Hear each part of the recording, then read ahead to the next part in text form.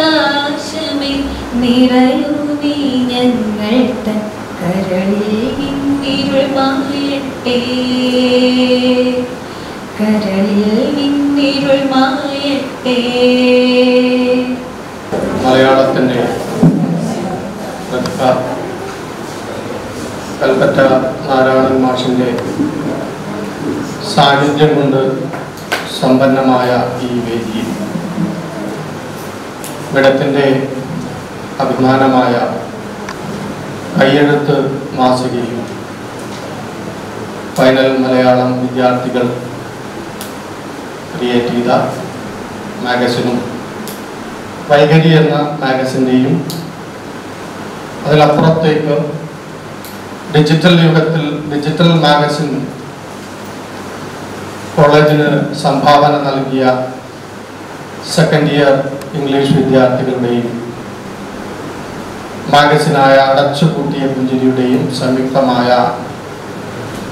പ്രകാശന ചടങ്ങ് ഇവിടെ നടക്കുകയാണ്. അത് നടക്കുന്നതിന് മുമ്പേ തന്നെ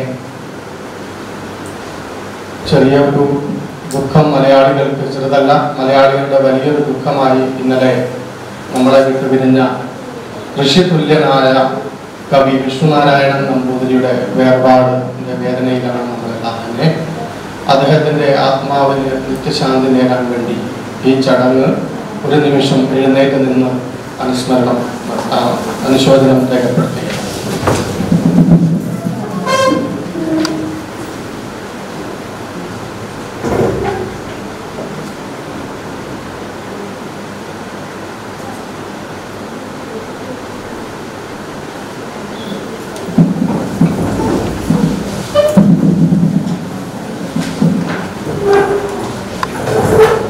കയ്യെഴുത്ത് മാസിക. ഈ ഡിജിറ്റൽ യുഗത്തിൽ കയ്യെഴുത്ത് മാസിക എന്ന് പറയുമ്പോൾ തന്നെ അതിന് എന്തെല്ലാം എന്തെല്ലോ അപര്യാപ്തതകളുണ്ടോ എന്ന് തോന്നിപ്പോകുന്ന കാലഘട്ടം. എങ്കിലും പാരമ്പര്യത്തെ കാത്തു സൂക്ഷിച്ചുകൊണ്ട് മലയാള തനിമയെ ഉണർത്തുന്ന വിധത്തിൽ. മലയാളം വിദ്യാർത്ഥികൾ വിടർന്നു നൽകിയ അക്ഷരോപഹാരം. വൈകരി. ഫൈനൽ ഇയർ വിദ്യാർത്ഥികൾ മലയാളം വിദ്യാർത്ഥികൾ. ആ വിദ്യാർത്ഥികളെ കുറിച്ച് പറയുമ്പോൾ തന്നെ നിങ്ങൾക്ക് അഭിമാനമാണ്. നമ്മളെ വിട്ടുപിരിഞ്ഞ മലയാളം അധ്യാപകൻ ദിലീപ് സാറിന്റെ സ്വപ്നം അദ്ദേഹത്തിന്റെ ആഗ്രഹങ്ങൾ നിങ്ങളിലൂടെ പൂവണിയുന്നു എന്ന് കാണുമ്പോൾ തന്നെ അദ്ദേഹത്തിന്റെ ആത്മാവ് സന്തോഷിക്കുന്നുണ്ടാകുമെന്ന് ഞാൻ ഓർമ്മിക്കുകയാണ്. ആ വൈകരിക്ക് പിന്നിൽ പ്രവർത്തിച്ച എല്ലാ വിദ്യാർത്ഥി വിദ്യാർത്ഥിനികളെയും സ്ഥാപനത്തിന്റെ മിടത്തിന്റെ പേരിൽ ആദ്യമേ അഭിനന്ദിക്കുകയാണ്. വലിയൊരു കയ്യടി ഈ ഒരു കാലഘട്ടത്തിലും ഇത്തരത്തിലുള്ള പ്രവർത്തനം ഏറ്റെടുത്ത് അത് വിജയിപ്പിച്ച് അത് പ്രകാശനം ചെയ്യാൻ വേണ്ടി കൽപ്പറ്റ നാരായണൻ മാഷെ തന്നെ കിട്ടി എന്നുള്ള മഹാഭാഗ്യവും ആ ഒരു സന്തോഷവും നമ്മൾ ഈ അവസരത്തിൽ പങ്കുവയ്ക്കുകയാണ്. അതിന് അപ്പുറത്തേക്ക് പുതിയ യുഗത്തിൽ കാലഘട്ടത്തിന്റെ മാറ്റത്തിന് അനുയോജ്യമായി വിദ്യാർത്ഥികളും സ്ഥാപനവും മാറുന്നു എന്നതിന്റെ മകുടോദാഹരണമായി ഡിജിറ്റൽ മാസിക ഫൈനൽ സോറി സെക്കൻഡ് ഇംഗ്ലീഷ് വിദ്യാർത്ഥികൾ നിർമ്മിച്ചിരിക്കുകയാണ്. ആ വിദ്യാർത്ഥികൾ അതിന് പിന്നിൽ പ്രവർത്തിച്ച വിദ്യാർത്ഥികൾക്കും അധ്യാപകർക്കും പ്രത്യേകിച്ച് ആ, സ്ഥാപനത്തിന്റെ അഭിനന്ദനവും അഭിനന്ദനവും നൽകുകയാണ്. രണ്ട് കാലഘട്ടത്തിന്റെ സംശ്ലേഷണം അങ്ങനെ വേണമെങ്കിൽ അതിനെ പറയാം. പഴയ കാലഘട്ടത്തെയും പുതിയ കാലഘട്ടത്തിന്റെയും സംശ്ലേഷണത്തിലൂടെ സാഹിത്യ മേഖലയ്ക്ക് ഒരു പുത്തൻ ഉണർവാണ് ഈ വിദ്യാർത്ഥികൾ നൽകിയിട്ടുള്ളത് എന്ന് ഈ അവസരത്തിൽ ഓർമ്മപ്പെടുത്തുകയാണ്.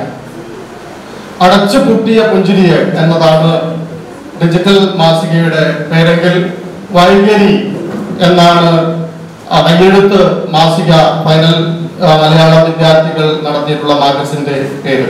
ഇത് രണ്ടും ഒരു ഓരോ കാലഘട്ടത്തെ ചിത്രീകരിക്കുന്നു.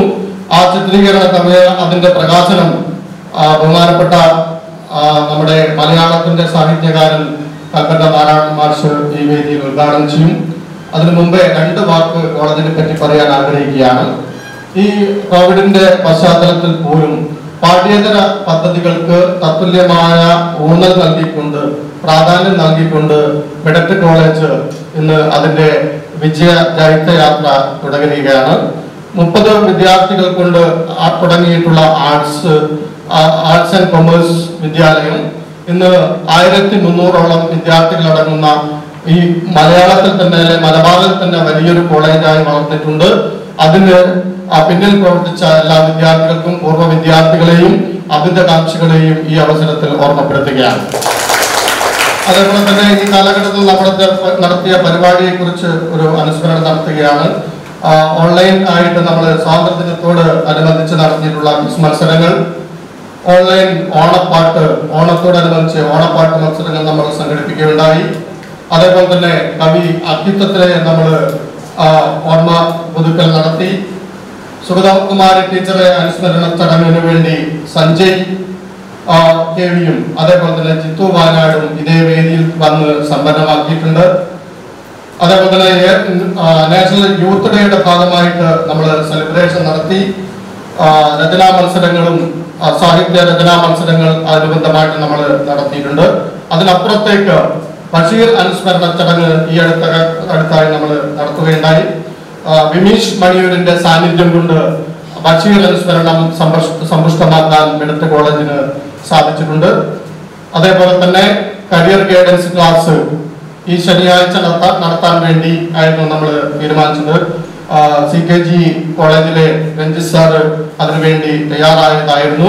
അദ്ദേഹം കോവിഡ് വാക്സിൻ സ്വീകരിക്കുന്നത് കൊണ്ട് ആ പരിപാടി നമ്മൾ മൂന്നാം തീയതിയൊക്കെ മാറ്റിയ വിവരം ഈ അവസരത്തിൽ അറിയിക്കുകയാണ്. മാത്രമല്ല ആ സ്പോർട്സ് രംഗത്തും മെഡറ്റ് അതിന്റെതായിട്ടുള്ള സംഭാവനകൾ നൽകി വരികയാണ്.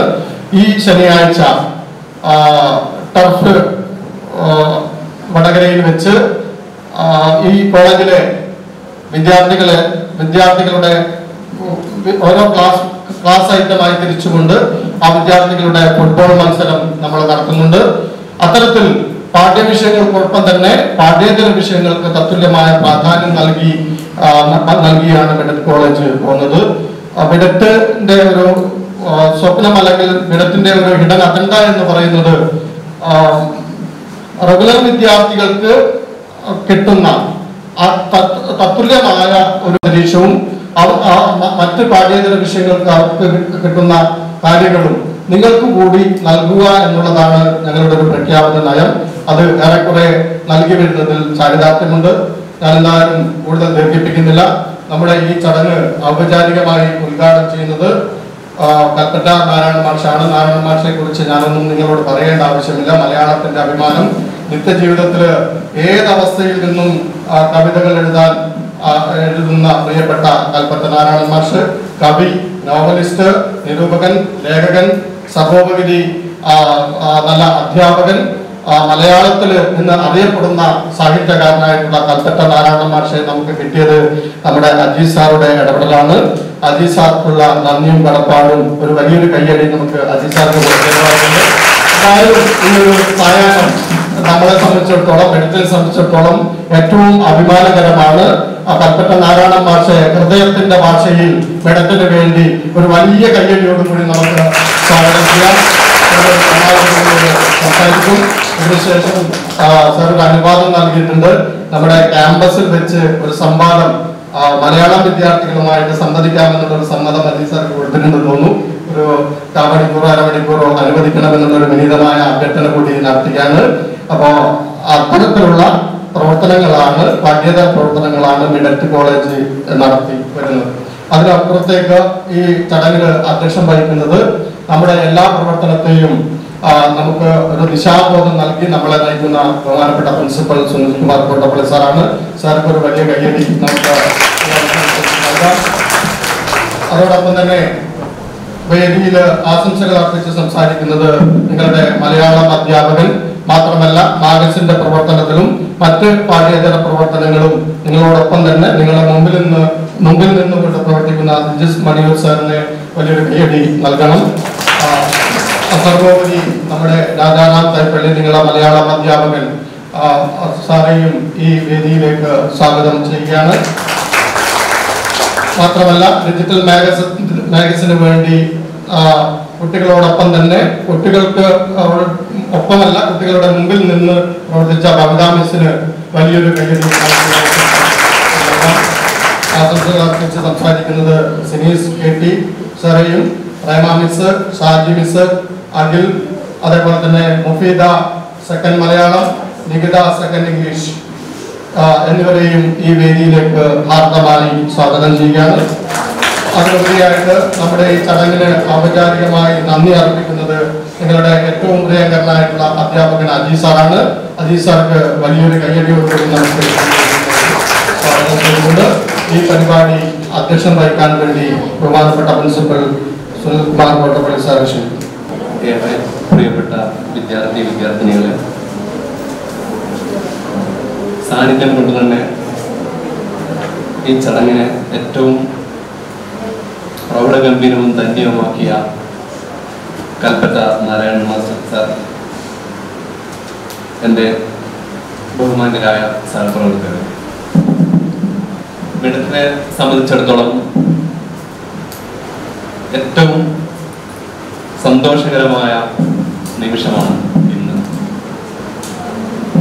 അനിൽ സാറ് സൂചിപ്പിച്ചതുപോലെ പഴമേ കൈവിടാതെ പുതുമയെ സ്വീകരിക്കാൻ സിംബോളിക്കായിട്ട് ഈ രണ്ട് പ്രകാശന ചടങ്ങുകൾ ആ രീതിയിലാണ് നമ്മൾ കാണുന്നത്. കഴിഞ്ഞ വർഷം മാർച്ച് പതിനൊന്നാം തീയതി വൈകുന്നേരമാണ് കോവിഡുമായിട്ട് ബന്ധപ്പെട്ട നിയന്ത്രണങ്ങളുടെ ഭാഗമായിട്ട് നമ്മുടെ പൂർണ രീതിയിലുള്ള അധ്യയനം നിന്നു പോയത്. ലോകം മുഴുവൻ കോവിഡുമായിട്ട് ബന്ധപ്പെട്ട സാമ്പത്തികവും മറ്റു പല മുഖങ്ങളിലായിട്ടുള്ള പ്രശ്നങ്ങൾ അനുഭവിച്ചു. ചെറുതായി ചെറുതായി കരയേറി വരുന്നു ആ നാളുകളിലാണ് ഇംഗ്ലീഷ് ഡിപ്പാർട്ട്മെന്റിലെ സെക്കൻഡ് ഇയർ രണ്ട് ബാച്ചുകൾ ഉണ്ടല്ലോ. നമുക്ക് അതിലൊരു ബാച്ചാണ് ബബിത നേതൃത്വത്തിൽ. എങ്ങനെയാണ് പറയേണ്ടതെന്ന് അറിയില്ല. അതിന്റെ ഒരു പ്രിവ്യൂ കണ്ടു. അത്രയും പ്രൊഫഷണൽ ആയി ഡിസൈൻ ചെയ്ത ഒരു ഡിജിറ്റൽ മാഗസിൻ എനിക്ക് തോന്നുന്നത് കേരളത്തിലെ സമാന്തര വിദ്യാഭ്യാസ സ്ഥാപനങ്ങളിൽ സമാന്തര വിദ്യാഭ്യാസ കലാലയത്തിൽ ആദ്യത്തെ ഒരു അനുഭവമായിരിക്കും ഒരു ഡിജിറ്റൽ മാഗസിൻ പ്രകാശനം ചെയ്യുക എന്നതാണ് എനിക്ക് അതോടൊപ്പം തന്നെ ഒരുപാട് പ്രയത്നിച്ച് നമ്മുടെ ഫൈനൽ ഈ വർഷം ഏതാനും ആഴ്ചകൾ കൊണ്ട് മിഡറ്റിന്റെ പൂർവ വിദ്യാർത്ഥികളാകാൻ പോകുന്ന അവസാന വർഷ മലയാളം ബിരുദ വിദ്യാർത്ഥികളുടെ ആത്മാർത്ഥമായ ഇടപെടലും പ്രയത്നവും വൈകരി എന്നൊരു കൈയെഴുത്ത് മാസികയും നമ്മുടെ മുമ്പിൽ അല്പനിമിഷത്തിനകം പ്രകാശനം ചെയ്യാൻ പോവുകയാണ്. കോളേജിൽ പഠിക്കുന്ന കാലം മുതലേ ടൗണിലും മറ്റു സ്ഥലങ്ങളിലും പരിപാടികളുടെ നോട്ടീസിൽ കൽപ്പറ്റ നാരായണ മോഷയുടെ പേര് കണ്ടാൽ. നമ്മൾ ഓടിയെത്തും. അവിടെ എല്ലാം ഒഴിവാക്കിയിട്ട് സാറിന്റെ ഈ പുതുമഴ പെയ്യുമ്പോഴുള്ള വല്ലാത്തൊരു അനുഭവമാണ്. കേൾക്കണം. അത് ഇങ്ങനെ ഇങ്ങനെ ഇങ്ങനെ ഇങ്ങനെ ഒഴുകി സംസാരിക്കുന്നത് കടത്തനാട് നാരായണ മാഷിന്റെ പേര് എന്തെങ്കിലും ഒരു കുഞ്ഞു കുറിപ്പിൽ എവിടെയും കണ്ടാൽ അന്നും ഇന്നും ഒരേ കൗതുകത്തോടെ ഞാൻ വായിക്കാറുണ്ട് അപ്പൊ ഈ ഒരു സന്ദർഭത്തിൽ നിങ്ങളും ഞാനും കൂടുതൽ ആഗ്രഹിക്കുന്നത് ആ മധുരമൊഴി ഏറ്റവും കാവ്യാത്മകമായിട്ട് സംസാരിക്കുന്ന നമ്മൾ കണ്ടിട്ടുള്ള ഏതാനും ചില സാഹിത്യകാരന്മാരിൽ ഒരാൾ നമുക്കിവിടെ ഈ ചെറിയൊരു വളരെ എളിയ ഈ പരിപാടിയിൽ അദ്ദേഹത്തെ കിട്ടുക എന്ന് തന്നെ വലിയ ഭാഗ്യമാണ്. അതും ഈ ഒരു കാലത്ത്. ഞാൻ ദീർഘിപ്പിക്കുന്നില്ല നമുക്ക് ഈ രണ്ട് മാഗസിനുകളുടെ വൈഖരി എന്ന മലയാളം അവസാന വർഷ വിദ്യാർത്ഥികൾ തയ്യാറാക്കിയ കൈയെഴുത്ത് മാഗസിനും അതുപോലെ തന്നെ അടച്ചു അടച്ചുപൂട്ടിയ പുഞ്ചിരി എന്ന പേരിൽ ഏറ്റവും വ്യത്യസ്തമായ വിഭവങ്ങളുള്ള അതിലേറെ അംഗീകരിക്കപ്പെടുന്ന പ്രൊഫഷണലായ ആൾക്കാർ കണ്ടാൽ പോലും ഒന്ന് നോക്കിപ്പോകുന്ന തരത്തിൽ ഡിസൈൻ ചെയ്യപ്പെട്ട അടച്ചുപൂട്ടിയ പുഞ്ചിരി എന്ന ഡിജിറ്റൽ മാഗസിനും നമുക്ക് അതിന്റെ പ്രകാശനാകരണത്തിലേക്ക് നടത്താം. ഇതോടൊപ്പം ചേർത്ത് പറയാനുള്ളത് ഇത് ഇത്തരം ചെറിയ തുടക്കങ്ങളിൽ നിന്നാണ് വലിയ വലിയ കാര്യങ്ങൾ ആൾക്കാർക്ക് ചെയ്യാൻ കഴിയുക. അപ്പൊ ഇതൊരു ഒരു തുടക്കം മാത്രമാണ്. വരും ദിവസങ്ങളിലും വരും വർഷങ്ങളിലും ഇതിനെ ഇത് ഇതുപോലുള്ള ഇതിനേക്കാൾ മെച്ചപ്പെട്ട വ്യത്യസ്തവും വൈവിധ്യവുമുള്ള സാഹിത്യ സംബന്ധിയായ പരിപാടികൾ നടത്താൻ മിടറ്റ് പ്രതിജ്ഞാബദ്ധമാണ്. അതിന് എല്ലാ അർത്ഥത്തിലും കോളേജ് നിങ്ങളുടെ കൂടെ ഉണ്ടാവും എന്ന് മാത്രം പറഞ്ഞുകൊണ്ട് ഔപചാരികമായ അതിന്റെ രണ്ട് പ്രസിദ്ധി പ്രകാശന കർമ്മങ്ങളിലേക്ക് നമുക്ക് കടക്കാം. പ്രകാശനകരമാണ് നടന്നുകൊണ്ടിരിക്കുന്നത്.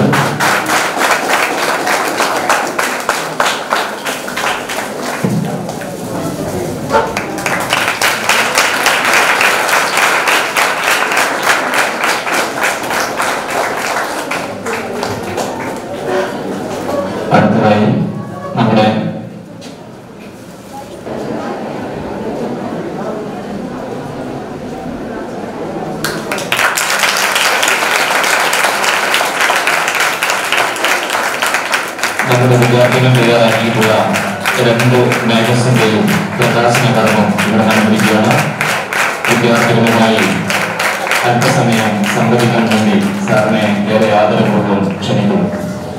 വാസ്തവത്തിൽ ഈ ഓൺലൈൻ മാസിക അല്ലെങ്കിൽ ഡിജിറ്റൽ മാസിക പ്രതീക്ഷിതമാണ്.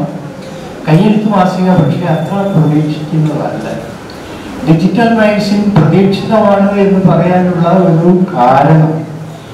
കഴിഞ്ഞ ഒരു വർഷം ഒരുപാട് ക്ലേശങ്ങളിലൂടെ നമ്മൾ കടന്നുപോയെങ്കിലും ഒരു സഫലമുണ്ടായി സാധാരണഗതിയിൽ ഇരുപതോ മുപ്പതോ വർഷം കൊണ്ട് എടുക്കേണ്ടിയിരുന്ന ഈ ടെക്- ഈ ടെക്നോളജിയിലുള്ള എന്താണ് പറയുക സാക്ഷരത നമ്മൾ ഒരു വർഷം കൊണ്ട് നേടി.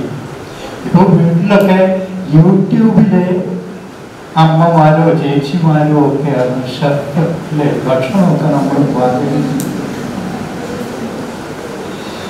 മാത്രമല്ല എല്ലാ കാര്യങ്ങളും നമ്മൾ ക്ലാസ്സിൽ പോകാതെ പഠിക്കുന്നു നമ്മൾ ബാങ്കിൽ പോകാതെ അക്കൗണ്ടിങ് ഒക്കെ നടത്തുന്നു നമ്മൾ ഓരോരോ കാര്യങ്ങളും ചെയ്യുന്നത് എവിടെയും പോകാതെ അപ്പോൾ ഈ വിധത്തിലുള്ള വലിയ ഒരു മാറ്റം ഉണ്ടാകാൻ കാരണം കോവിഡാണ് സാധാരണ ഈ ഫോൺ വിളിക്കുക അത് റേഞ്ച് കിട്ടുന്നിടത്തേക്ക് മാറി നിന്ന് വിളിക്കുക ഇങ്ങനെയുള്ള ചില്ലർ കാര്യം സെൽഫി എടുക്കുക ഇത്ര മാത്രമാണ് നമുക്ക് ഓപ്പറേറ്റ് ചെയ്യാൻ അറിയാവുന്നത്.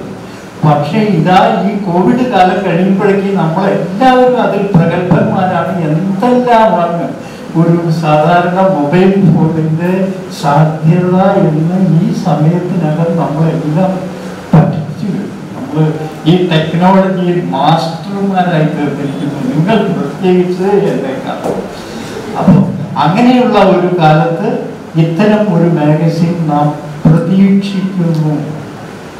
ചിത്രങ്ങളും ദൃശ്യങ്ങളും ഒക്കെ വരുന്ന ഈ ദൃശ്യനാഗരികതയുടെ കയ്യൊപ്പിട്ട ഈ മാഗസിൻ അനിവാര്യമാണ്. നമ്മളതിനെ എന്താ പറയുക ആശംസകളോട് എതിരേൽക്കും. കയ്യെഴുത്ത് മാസിക ഒരുപക്ഷെ ഏറ്റവും പഴയതും അല്ലേ? വൈഖരി എന്ന പേരിൽ തന്നെ എത്ര മാസികകൾ കേരളത്തിൽ വന്നിട്ടുണ്ടെന്ന് അറിയാമോ പഴയ കാലത്ത്. അപ്പോ സ്ക്രൈബ് ഏറ്റവും പ്രധാനപ്പെട്ട തൊഴിലായിരുന്നു ഒരു കാലത്ത് ഏറ്റവും പ്രതിഫലം കിട്ടിയിരുന്നത് മെസോപ്പൊട്ടേമിയയിലൊക്കെ സ്ക്രൈബിനായി എഴുതിയെടുക്കുന്ന ആൾ അപ്പോൾ ആ സ്ക്രൈബ് പിന്നെ അയാളെ കുറിച്ച് തന്നെയാണ് എഴുത്തുകാരെന്ന് പറയുമ്പോൾ നമുക്കൊരു ശശങ്ക ഉണ്ടാവും. അയാൾ എന്താ എഴുതുന്നത് എന്ന് നമുക്ക് തോന്നും. അതുകൊണ്ട് ആ ഒരു ശങ്കയിൽ ഇപ്പോഴും എഴുത്തിന് പ്രാധാന്യമുണ്ട് എഴുത്തിനെ കുറിച്ച് ഞാനൊരു കുഞ്ഞു കവിത എഴുതിയിട്ടുണ്ടായിരുന്നു. മുമ്പ് അത് ഏതാണ്ട് ഇങ്ങനെയാണ് ഇപ്പോൾ എഴുത്തൊന്നും കാണാറില്ലല്ലോ. എഴുത്തൊന്നും വരാറില്ല. അതല്ല ചോദിച്ചത്. അതല്ല പറഞ്ഞത്. അതുകൊണ്ട് എഴുത്തും എഴുത്തും കൂടിക്കലരുന്ന ഒരു ലോകത്തിന്റെ എഴുത്താണ് ഇവിടെ ആവിഷ്കരിച്ചിരിക്കുന്നത്? എന്താണ് ഇതിന്റെ ആവശ്യം? നമ്മുടെ ഡിജിറ്റൽ മാഗസിന്റെ പേര് അസാധ്യമായിരിക്കുന്നു. അടച്ചു പൂട്ടിയ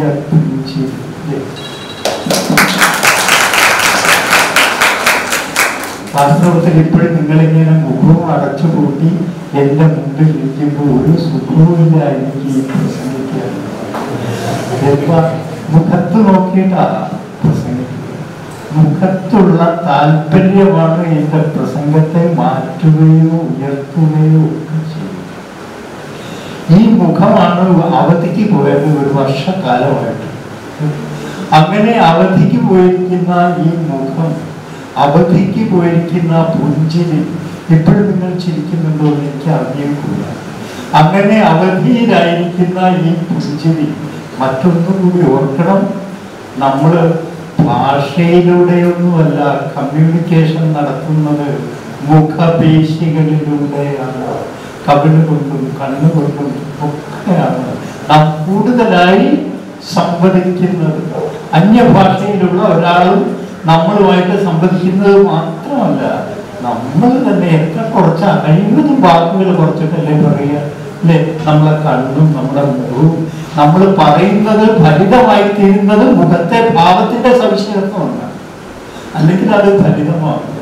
ഇങ്ങനെ എപ്പോഴും മുഖഭാവത്തിന്റെ ഒരു ശുപാർശ കൊണ്ട് അസാധാരണമായി തീരുന്ന ഒരു സംഭാഷണമാണ് നമ്മുടെ കയ്യിൽ ഉള്ളത്. അതിൽ നിന്ന് ഈ മുഖഭാവം പിന്മാറിയാലോ? വളരെ വിരസമായി തീരും വീട്ടിലെത്തിയാലുള്ള വലിയ ആശ്വാസം എന്താ? ഇത് അഴിച്ചൊരു ഭാഗത്ത് വെച്ച് മുഖം വീണ്ടെടുക്കാം എന്നതാണ് ഒരു ആശ്വാസം. അങ്ങനെ വളരെ ഒരു വർഷത്തോളം കാലം ഇങ്ങനെ മുഖമില്ലാതെ ഇങ്ങനെ പുഞ്ചിരിക്കും. ഇതെല്ലാമാണ് കട്ടുകളഞ്ഞത് ഈ ലോകം. ഇങ്ങനെ കവർച്ച ചെയ്ത ഒരു ലോകവും ഭൂമുഖത്തുണ്ടായിട്ടില്ല. എല്ലാം കവർ ചെയ്തു വൈകുന്നേരങ്ങൾ കവർ ചെയ്തു സംഘങ്ങളായിരുന്ന് സംസാരിച്ചിരുന്നത് കവർ ചെയ്തു സൗഹൃദങ്ങൾ കവർ ചെയ്തു സമൂഹത്തെ കവർ ചെയ്തു ജാതിയെ കവർ ചെയ്തു പ്രതിഷേധങ്ങളെ കവർ ചെയ്തു ജീവിതത്തെ കവർ ചെയ്തു. അങ്ങനെ സകലതിനെയും കവർ ചെയ്ത ഒരു ലോകം ലോകത്തിന് വരെയും വന്നു. പക്ഷെ ഒരു കാര്യം ആലോചിക്കണം. വാസ്തവത്തിൽ ഈ ഡിജിറ്റൽ യുഗം വരാൻ കാത്തിരുന്നു ഈ ലോകം.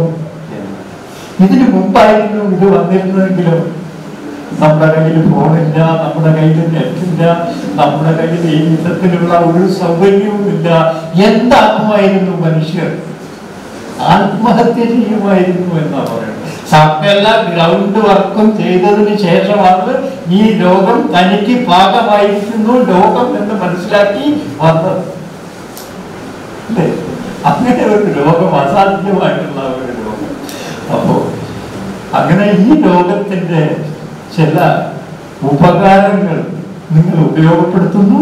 അതാണ് ഇങ്ങനെ അടച്ചുപൂട്ടിയ പുഞ്ചിരിയായിട്ട് വൈഖരി എന്ന മഹാശബ്ദമായിട്ട് ഒക്കെ നമ്മൾ പുനരുജ്ജീവിപ്പിക്കുന്നത് എന്തിനു വേണ്ടിയിട്ടാണ് നമ്മളിത് ചെയ്യുന്നത്? ആദ്യകാലത്ത് ഗുഹാചിത്രകാരൻ എന്തിനു വേണ്ടി ആ ചിത്രങ്ങൾ വരച്ചു? അതേ കാരണത്താലാണ് നമ്മളിങ്ങനെ ഒരു മേഘസിന് തുണി. അത് ഒരേ സമയം നമ്മുടെ എക്സ്പ്രഷനുമാണ് നമ്മുടെ എക്സിബിഷനും എന്തിനാ കുട്ടികൾ സെൽഫി എടുക്കുന്നത്? ഇതുവരെ മനുഷ്യർക്ക് സാധിക്കുമായിരുന്നില്ല. അവനവന്റെ ഫോട്ടോ എടുക്കാൻ. അതിനുള്ള ഒരു ഡിവൈസ് ഉണ്ടായിരുന്നു പഴയ കാലത്ത് പിന്നെ കുടുംബത്തിന്റെ ഫോട്ടോ കുടുംബനാഥനായ ഫോട്ടോഗ്രാഫർ എടുത്താൽ കുടുംബനാഥൻ പുറത്താകുമായിരുന്നു. അങ്ങനെ ഈ കുടുംബനാഥൻ എന്ത് ചെയ്തു എന്നറിയാമോ മകളുടെയോ മകന്റെയോ കയ്യിൽ ഒരു വലിയ കണ്ണാടി കൊടുത്ത് അതും പിടിച്ചിരുന്ന്. അയാൾ ഫോട്ടോ എടുക്കുമ്പോൾ അയാൾ അത് ഇങ്ങനെ ചെയ്തിരുന്ന ഒരു സംഗതിക്കായി ഒരു ഡിവൈസ് വരികയാണ്. അതാണ് സെൽഫി സെൽഫിക്ക് വേറൊരു ഗുണം എന്താണുള്ളത്? നിങ്ങൾ പ്രധാനമന്ത്രി മോദിയുടെ കൂടെ സെൽഫി എടുക്കുകയാണെങ്കിൽ പോലും നിങ്ങളുടെ പടമാണ് വലുത് മോദിയുടെ പടമാണ്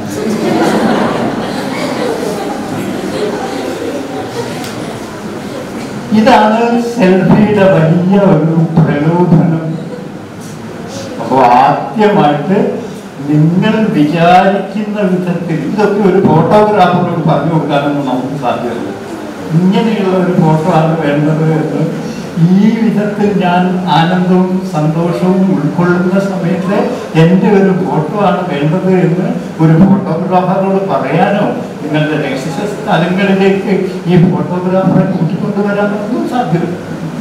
അങ്ങനെ ഒരു ബാഹ്യമായ ഇടപെടൽ നമുക്ക് ഇഷ്ടമല്ല നമ്മുടെ സ്വാതന്ത്ര്യത്തിന് മേൽ അങ്ങനെ ഒരു ബാഹ്യ ഇടപെടൽ കൂടാതെ ഈ ഫോട്ടോ ഉണ്ടാകുന്നു. അങ്ങനെ നിങ്ങളുടെ സ്വാതന്ത്ര്യത്തിന്റെ ഒരു വലിയ അടയാളമായി അത് മാറുന്നു. അങ്ങനെ ഈ സെൽഫി എടുക്കുന്നത് എന്തിനു വേണ്ടിയിട്ടാണ്? അപൂർവമായി സെൽഫ് എക്സ്പ്രഷന് വേണ്ടിയിട്ടാണെന്ന് പറയാം. പക്ഷെ മിക്കവാറും അത് സെൽഫ് എക്സിബിഷന് വേണ്ടിയിട്ടാണ്. അപ്പോൾ എടുക്കുന്നു മറ്റൊരാൾക്ക് അത് അയച്ചു കൊടുക്കുന്നു അല്ലെങ്കിൽ പലർക്ക് അയച്ചു കൊടുക്കുന്നു. അങ്ങനെ പലര് കാണുവാൻ വേണ്ടി ഒരു സെൽഫ് എക്സിബിഷന്റെ ഭാഗമായിട്ടാണ് നമ്മൾ എന്തെടുക്കുന്നത്? സെൽഫി എടുക്കുന്നത് മറ്റൊരാൾ കാണുമ്പോൾ എനിക്ക് വിസിബിലിറ്റി വാസ്തവത്തിൽ പുരുഷന്മാർക്ക് വലിയ വിസിബിലിറ്റി ഉള്ള ഒരു ലോകത്ത് സ്ത്രീകൾക്ക് വിസിബിലിറ്റി വളരെ കുറവായ ഒരു ലോകത്ത് ആണ് നമ്മൾ ജീവിച്ചുകൊണ്ടിരുന്നത്. അതുകൊണ്ടാണ് സ്ത്രീകൾ ആഭരണങ്ങളും പട്ടുവസ്ത്രങ്ങളും ഒക്കെ ധരിക്കുന്നത്. ഒരു പുരുഷൻ ഞാനിപ്പോൾ ഇവിടെ ഒരു പട്ടുവസ്ത്രമൊക്കെ ധരിച്ച് ഒരുപാട് ആഭരണങ്ങളൊക്കെ ധരിച്ച് ഇവിടെ വന്നാൽ നിങ്ങൾ നിർത്താതെ ചിരിച്ചു പക്ഷെ ഒരു സ്ത്രീ അങ്ങനെ വന്നു നിന്നാൽ ആരും ചിരിക്കുകയില്ല അവൻ അങ്ങനെയാണ് വരേണ്ടത് നിങ്ങൾ ധരിക്കുകയും അല്ലേ? എന്താ കാരണം? പുരുഷനുള്ള വിസിബിലിറ്റി സ്ത്രീക്ക് ഇല്ലാത്തതുകൊണ്ട് ഈ പ്രത്യക്ഷ വിസിബിലിറ്റിക്കുള്ള മോഹം കാരണം പട്ട് വസ്ത്രങ്ങളും ഇങ്ങനെ ആഭരണങ്ങളും ഒക്കെ ധരിച്ച് അവർ പ്രത്യക്ഷപ്പെടുന്നു എന്നതാണ്. ഗ്രേറ്റ് കിച്ചൺ എന്ന് പറഞ്ഞ ഒരു സിനിമ കണ്ടോ നിങ്ങൾ? അപ്പോ അതിലെ സ്ത്രീയെ നോക്കുക അവൾക്ക് ഒരു വിസിബിലിറ്റിയും ഇല്ല അവൾ അകത്ത സദാ നിങ്ങൾക്ക് പോലും വലിയ വിസിബിലിറ്റി ഒന്നുമില്ല. രാത്രികാലം എപ്പോഴും സ്ത്രീകളുടേതായി മാറിയിട്ടില്ല. നമ്മുടെ കേരളത്തിൽ പോലും. വിസിബിൾ അല്ല അപ്പോഴൊന്നും പിന്നിൽ പ്രവർത്തി ഏറ്റവും കൂടുതൽ തൊഴിലെടുക്കുന്നത് സ്ത്രീയാണ്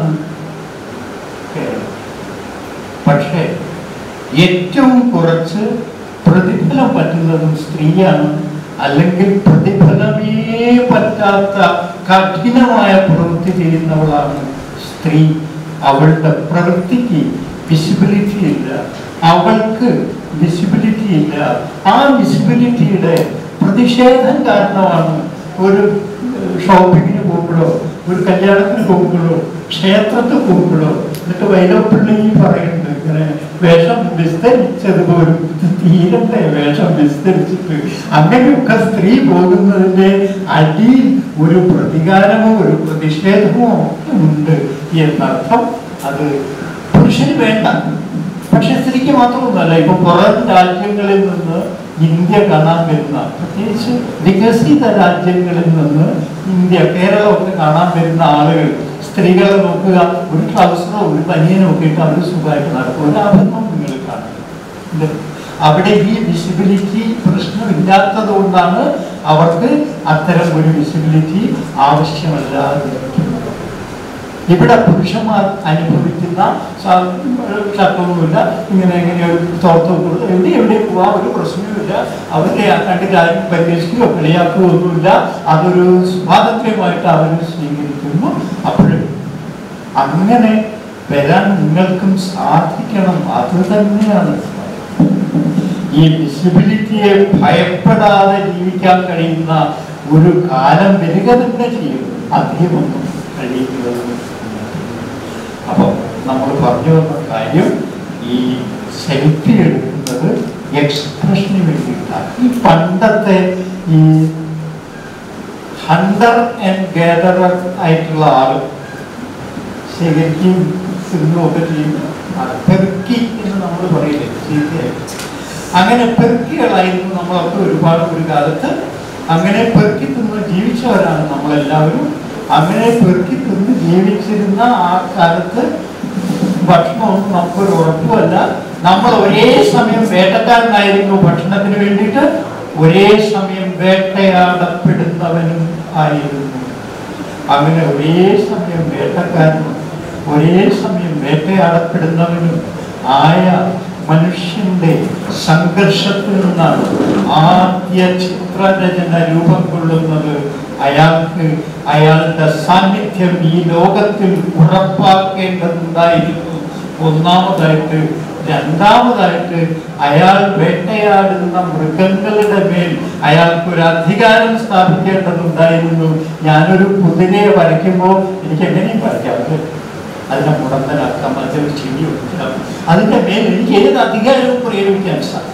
അങ്ങനെ ഈ ചിത്രങ്ങളിൽ എനിക്ക് ഏത് അധികാരവും ഉപയോഗിക്കാൻ സാധിക്കുന്നതുകൊണ്ട് ഈ മൃഗങ്ങളുടെ മേൽ എനിക്കൊരു ആധിപത്യം വരികയാണ് വളരെ സൂക്ഷ്മമായി ഒരു ആധിപത്യവും ഇല്ലാതിരുന്ന ഒരു കാലത്ത് നമ്മുടെ കയ്യിൽ ആയുധങ്ങളൊന്നും ഇല്ലാതിരുന്ന ഒരു കാലത്ത് നാം മൃഗങ്ങളുടെ മേൽ അന്യ ജീവജാലങ്ങളുടെ മേൽ ആധിപത്യം സ്ഥാപിക്കാൻ കൂടി വരച്ചു നമ്മൾ ആധുനിക ലോകവുമായി സഖ്യമായി തീരുവാൻ ഇണങ്ങുവാൻ വേണ്ടി നമ്മൾ ഇപ്പോഴും കഥ പറയുന്നു കവിത എഴുതുന്നു ചിത്രങ്ങൾ വരയ്ക്കുന്നു. ഇതെല്ലാം ചെയ്യുന്നത് പോലെ ആണ് മനുഷ്യനിലാകട്ടെ ഈ സൗന്ദര്യവാസന വളരെ ഗാഠമായിട്ടുള്ളതും. നമ്മൾ പൂന്തോട്ടം ഉണ്ടാക്കുന്നു. നമ്മൾ വീട് മനോഹരമായിട്ട് അലങ്കരിച്ചു എത്ര പണമാ മലയാളി വീടിന് വേണ്ടി ചെലവഴിക്കുന്നത്? ഇതൊക്കെ ഉണ്ടാവും. ഇതിനൊക്കെ കാരണം എന്താ? ഈ പ്രകൃതിയിലെല്ലാം ഉണ്ട് സൗന്ദര്യം. പറമ്പിക്കുളത്ത് പോയതാണ് ഒരു ദിവസം. അങ്ങനെ അവിടെ ഒരു ഷെൽട്ടറിന്റെ മുകളിൽ ഇങ്ങനെ ടോപ്പിലും ട്രീ ടോപ്പിൽ ഇങ്ങനെ ഇരിക്കുന്ന സമയത്ത് താഴെ രണ്ട് മയിലുകളുണ്ട് അപ്പൊ ഞാൻ അവിടെ നിന്ന് ഇങ്ങനെ നോക്കുകയാണ്. അപ്പോ ഈ മയിൽ ആൺമയിൽ പീലി വിടർത്തി അങ്ങ് നൃത്തം ചെയ്യാൻ തുടങ്ങി. ഒരു മണിക്കൂർ നീണ്ടുവാ അസാധ്യ മനോഹരമായിട്ടുള്ള ഈ നൃത്തം അതങ്ങനെ ചെയ്തുകൊണ്ടിരിക്കുക പക്ഷെ ഈ പെൺമയിൽ അതൊന്നും കാണുന്നൊന്നുമില്ല. അതെന്തൊക്കെയോ ചിരിച്ചകഞ്ഞ് ഈ കുറെ കഴിഞ്ഞിട്ട് ഈ ആൺമയിലിന്റെ ഈ നൃത്ത പ്രദർശനം അവസാനിച്ചു. ഇതിന്റെ അടുത്തേക്ക് വന്നു. മറ്റത് ഭക്ഷണം കഴിച്ചുകൊണ്ടേയിരുന്നു. അല്ലെങ്കിൽ ചിക്കിച്ചകഞ്ഞുകൊണ്ടേയിരുന്നു ഈ കാഴ്ച ഞാനിങ്ങനെ കണ്ടപ്പോൾ ഏതായാലും ഇണയെ ആകർഷിക്കാനുള്ള ഒരു സൗന്ദര്യം എന്നത് അതിന്റെ ആവിഷ്കാരം എന്ന് പറയുന്നത് എല്ലാ ജീവജാലങ്ങളിലും ഉള്ളതാണ്. അതാണ് പൂവിന്റെ ഭംഗി അതാണ് ശലഭങ്ങളുടെ ഭംഗി അതാണ് എല്ലാ എല്ലാ സൗന്ദര്യങ്ങളുടെയും അടിസ്ഥാനമായ ഒരു കാരണം. അതിജീവനും അങ്ങനെ നമ്മുടെ വംശത്തിന്റെ തുടർച്ചയും ഒക്കെ സാധിക്കാൻ വേണ്ടി നമ്മളിങ്ങനെ സൗന്ദര്യാത്മക സ്വഭാവമുള്ളവരായി വിഷ്ണുനാരായണ നമ്പൂതിരിയെ കുറിച്ച് എന്തെങ്കിലും പറയാതിരുന്നാൽ മോശമാണ്. വിഷ്ണുനാരായണ നമ്പൂതിരി മലയാളത്തിലെ ഞാൻ പ്രേമിച്ച ആൾക്ക് ആദ്യമായിട്ട് സമ്മാനം കൊടുത്തത് വിഷ്ണുനാരായണ നമ്പൂതിരിയുടെ പ്രണയ ഗീതങ്ങൾ എന്ന് പറയുന്ന ഒരു പുസ്തകം വളരെ മനോഹരമായിട്ടുള്ള ആ പുസ്തകം. ഒരു ഒരു ഭാഗത്ത് പച്ച അത് കഴിഞ്ഞ് ചുവപ്പ് ഇങ്ങനെ ഇങ്ങനെ ഇങ്ങനെയൊക്കെ ആയിട്ടുള്ള പല കടലാസുകളിലാണ് അത് അച്ചടിച്ചിരുന്നത് അതിനൊരു കാരണം ഒരു കാരണം പ്രണയത്തിലാകുമ്പോൾ നിങ്ങൾ ലോകത്തിലെ നിറങ്ങളെ കുറിച്ച് ബോധവാന്മാരായിത്തീരുന്നു എന്നതാണ്. പ്രണയത്തിലാകുമ്പോൾ നിങ്ങൾ ഈ സൗന്ദര്യം തിരിച്ചറിഞ്ഞു തുടങ്ങുന്നു എന്നതാണ്. അങ്ങനെ പല കാര്യങ്ങളും ആണ്. ഈ വിഷ്ണുനാരായണ നമ്പൂതിരിയുടെ ഒരു കവിത. സുഭദ്രാർജുനീയം എന്ന് പറയുന്ന ഒരു കവിത. അദ്ദേഹം അധ്യാപകനായിരുന്നു. വിദ്യാർത്ഥിനികളിൽ ഒരാളുമായിട്ട് അയാൾക്ക് പ്രണയവും അത് വാസ്തവത്തിൽ ഈ വാര്യന്റെ എന്താണ് അൻപ്രാന്റെ വിളക്കത്ത് വാര്യന്റെ അത്താഴം എന്ന് പറയുന്നത് പോലെ മറ്റു കുട്ടികൾക്കൊക്കെ ഒരു ഭാഗ്യം കൊടുക്കുന്ന സംഗതി കൂടിയാണ്. ഒരു അധ്യാപകന് ഒരു പെൺകുട്ടിയോട് പ്രേമമുണ്ടെങ്കിൽ നിസ്സംശയം അയാളുടെ ക്ലാസ് ഒന്നാം തരമായി. അങ്ങനെ ഒന്നാം തരമായി തീരുന്നതിന്റെ ഗുണം അവൾക്ക് മാത്രമൊന്നുമല്ല എല്ലാവർക്കും കിട്ടുകയും അങ്ങനെ ഒരാൾക്ക് ഈ ക്ലാസ്സിൽ എന്താ കവിത പഠിപ്പിക്കാൻ പറ്റും? അങ്ങനെ വിചാരിച്ചിരുന്ന ഒരാളാണ് വിഷ്ണുനാരായണ നമ്പൂതിരി മാത്രമാണ് ഞാൻ പറയുന്നത്. അതുകൊണ്ട് നാല് വരി. ഇടയിൽ കാറ്റിനാൽ അല്പം പിടർന്ന നിൻ മുഖമൻ നേർക്കുയർന്നപ്പോൾ തരണമാകുവാനെങ്കിൽ ക്ലാസ്സിലിരിക്കുമ്പോൾ ഇങ്ങനെ എല്ലാവരെയും നോക്കി എല്ലാവരെയും നോക്കുകയാണ് നിന്നെ മാത്രം നോക്കുകയല്ല എന്ന് എല്ലാവരെയും ധരിപ്പിച്ച് അങ്ങനെ നിൽക്കുമ്പോൾ ആ കണ്ണുകളിലേക്ക് മുഖം ഉയർത്തി ഇടയിൽ കാറ്റിനാൽ അല്പം വിടർന്ന പൂക്കുല പോലും മുഖം എന്നേർക്കുയർന്നപ്പോൾ അദ്ദേഹത്തിന്റെ പ്രണയം തുടിച്ചു നിൽക്കുന്ന വരികൾ അപ്പോ ഞാൻ ഇടയ്ക്ക് വെച്ച് വിഷ്ണുനാരായണ നമ്പൂരിയെ കുറിച്ച് പറഞ്ഞത് അത് പറയാതെ പോകരുത് എന്നതുകൊണ്ടാണ് അങ്ങനെ അതിനൊരു സന്ദർഭം ഉണ്ടായിട്ടല്ല ഉണ്ടാക്കിയതാണ് നമ്മൾ പറഞ്ഞു വരുന്നത്. എക്സ്പ്രഷന്റെയും എക്സിബിഷന്റെയും ആഗ്രഹം അനിവാര്യതയുള്ള ഒരു ലോകത്ത് ജീവിക്കുന്നവർ കഥ ഉണ്ടാക്കുന്നു കവിത ഉണ്ടാക്കുന്നു അതിന്റെ ഒരു പശ്ചാത്തലം മാത്രം പറഞ്ഞിട്ട് നമുക്ക് നിർത്താം. അരമണിക്കൂറൊക്കെയാണ് പ്രസംഗം വീണ്ടും എന്ന് തോന്നുന്നു അപ്പോ നമ്മളെ എന്ത് പറയാം മറ്റു ജീവജാലങ്ങൾക്കൊന്നുമില്ലാത്ത ഒരു സവിശേഷത നമുക്കുണ്ട്. എന്താ? നമുക്ക് ഭാഷയുണ്ട്. ലാംഗ്വേജ് ആനിമൽ ആണ്. ഭാഷാ മൃഗങ്ങളാണ്. ലിംഗ്വിസ്റ്റിക് ആനിമൽ ആണ്. മനുഷ്യൻ മറ്റ് ജീവജാലങ്ങൾക്ക് സങ്കീർണങ്ങളായ കാര്യങ്ങൾ പറയാനോ ആവിഷ്കരി ആവിഷ്കരിക്കാനോ പറ്റിയ ഭാഷയൊന്നുമില്ല ഉള്ളിലെ പ്രയാസങ്ങൾ പറയാനുള്ള ഭാഷയില്ല അവർക്ക് ആവശ്യങ്ങൾ അത്രയ്ക്കുള്ളൂ അതിന് വേണ്ട ഭാഷ അവർക്ക് ഉണ്ട് എന്നും വേണമെങ്കിൽ നമുക്ക് പറയാം. നമുക്ക് ആവശ്യങ്ങൾ നിരവധിയാണ്. കാരണം എന്താ? കാരണം എന്താ? ഞാനിങ്ങനെ നേരത്തെ സെൽഫി പറഞ്ഞു പുഞ്ചിരിയെ കുറിച്ച് പറഞ്ഞപ്പോൾ വിട്ടുപോയ ഒരു കാര്യമുണ്ട്. എന്താണ്? നമുക്ക് മാത്രമേ ലോകത്ത് മുഖങ്ങളുള്ളൂ എന്ന കാര്യം. ആർക്കില്ല. മറ്റു ജീവജാലങ്ങൾക്കൊന്നുമില്ല. അവർക്ക് തലയേ ആടിനെ അറക്കുന്ന സ്ഥലത്ത് ആട്ടിൽ തല വെച്ചിട്ടുണ്ടാവും അത് കണ്ടിട്ട് ആൾ ഭയന്നിട്ട് വാങ്ങിക്കാതൊന്നും ഇരിക്കില്ല. ആ തലയിൽ തരുമോ എന്ന് ചോദിക്കാൻ വേണ്ടിയിട്ടാണ് ആൾ നിൽക്കുക പക്ഷെ മനുഷ്യന്റെ തലയായിരുന്നു അവിടെ ഉണ്ടായിരുന്നത്. എന്തായിരുന്നു ആ വ്യത്യാസം മനുഷ്യന് മുഖമുണ്ട് എന്നതായിരുന്നു ആ വ്യത്യാസം. ആ വിധത്തിലുള്ള ഒരു വലിയ പ്രത്യേകത മനുഷ്യനുണ്ട്. ആ മുഖം അടക്കി വെക്കേണ്ടി വന്നു കുറച്ചു കാലത്ത്. അതുകൊണ്ടാണ് ഈ പുഞ്ചിരിയെ കുറിച്ചുള്ള മാക്സിന്റെ പ്രശ്നം എന്നാണ് ഞാൻ പറഞ്ഞത് അപ്പൊ ഭാഷ എന്ന് പറയുന്നത് ഇങ്ങനെ പിന്നെ മറ്റു മൃഗങ്ങൾക്കൊക്കെ ഇങ്ങനെ പല സവിശേഷതകളും നമുക്ക് ആ സവിശേഷതകളൊന്നുമില്ല. എന്താണ്? എപ്പിമെത്യൂസ് എന്നും പറഞ്ഞു പ്രിമിറ്റ്യൂസ് എന്നും പറഞ്ഞു രണ്ട് ദേവന്മാരുണ്ടായി. അപ്പോ എല്ലാ ജീവജാലങ്ങളെയും സൃഷ്ടിച്ചതിന് ശേഷം ദൈവം അവരെ ആരോട് പറഞ്ഞു? ഈ രണ്ടുപേരോട് പറഞ്ഞു നിങ്ങൾ എല്ലാ ജീവജാലങ്ങൾക്കും വേണ്ടതൊക്കെ കൊടുക്കണം. അങ്ങനെ പ്രിമിറ്റ്യൂസ് അവിടെ നിൽക്കട്ടെ. അതിനു മുമ്പ് എപ്പിമെറ്റ്യൂസ് മറ്റെല്ലാ ജീവജാലങ്ങൾക്കും അതിജീവിക്കാൻ വേണ്ടതൊക്കെ കൊടുത്തു. കട്ടിയുള്ള തോലും കുളമ്പുകളും അങ്ങനെ അവരെ ചെതുമ്പലുകളും അങ്ങനെ അങ്ങനെ അവർക്ക് തണുപ്പിനെ ചൂടിനെ കാലാവസ്ഥയെയും ഒക്കെ ശരീരം കൊണ്ട് പ്രതിരോധിച്ച് മുന്നേറാൻ വേണ്ട എല്ലാ സൗഖ്യങ്ങളും ഈ എപ്പിമെത്യൂസ് നൽകി. എല്ലാം കൊടുത്തു കഴിഞ്ഞു. ഇനി അയാളുടെ കയ്യിലൊന്നുമില്ല. അയാൾ പറഞ്ഞു പ്രിമിറ്റ്യൂസിനോട് ഇനി ബാക്കിയുള്ളത് മനുഷ്യനാണ് മനുഷ്യർക്ക് വേണ്ടത് നീ കൊടുത്തോളൂ. അതുകൊണ്ട് മനുഷ്യൻ എന്തില്ല? അതേപടി അതിജീവിക്കാൻ വേണ്ടതൊന്നും അയാളുടെ കയ്യിലില്ല കത്തിയുള്ള തോലല്ല ഒന്ന് പോയാൽ മതി. അങ്ങനെ പിന്നെ കുളമ്പുകളില്ല പാവ പാദങ്ങളാണ് മാനിന്റെയോ പുലിയുടെയോ വേഗമില്ല. നമുക്ക് കുറഞ്ഞ വേഗമേ ഉള്ളൂ. നമ്മൾ കഷ്ടപ്പെടുത്താൻ വേണ്ടി സൃഷ്ടിച്ചതുപോലെയാണ് കഷ്ടപ്പാടിൽ നിന്ന് ഉയർന്ന് നാം വരണം എന്ന ആശയത്തോടു കൂടി നമ്മളെ സൃഷ്ടിച്ചതുപോലെയാണ് അങ്ങനെ പരിമിതികളുടേതായ ഒരു വഴിയിലാണ് നമ്മൾ. അങ്ങനെ പരിമിതനായ നമുക്ക് എന്ത് തരാം? അതാണ് നമുക്ക് തന്നിരിക്കുന്നത് പ്രമിത്യൂസ് സ്വർഗത്തിൽ നിന്ന് അഗ്നി കൊണ്ടുവന്ന് അയാൾ നമുക്ക് തന്നു. അഗ്നി കൊണ്ടുവന്ന് തന്നതിന്റെ അർത്ഥം എന്താണ്? എന്താ? സംസ്കാരം എന്ന് പറഞ്ഞാൽ കൾച്ചർ എന്ന് പറഞ്ഞാൽ കുക്കിഡ് എന്നാണ്. ഇപ്പൊ ഈ കേരളത്തിലെ മന്ത്രിമാരൊക്കെ തമാശയായിട്ട് ഇങ്ങനെ പറയുന്ന കേട്ടിട്ട് എനിക്ക് ചിരി വരാറുണ്ട്. അരിഭക്ഷണം കഴിച്ച ആരും ഇങ്ങനെ സംസാരിക്കില്ല എന്നൊക്കെ നമ്മുടെ മന്ത്രിമാർക്ക്. ആരവിടെ അരിഭക്ഷണം കഴിക്കുന്ന തത്തയാണോ നമ്മൾ നമ്മൾ എന്ത് ഭക്ഷണം കഴിക്കുക പോകണ്ട പാചകം ചെയ്തിട്ടാ കഴിക്കുക കഴിക്കുക സംസ്കരിച്ച് കഴിക്കുന്നവരുടെ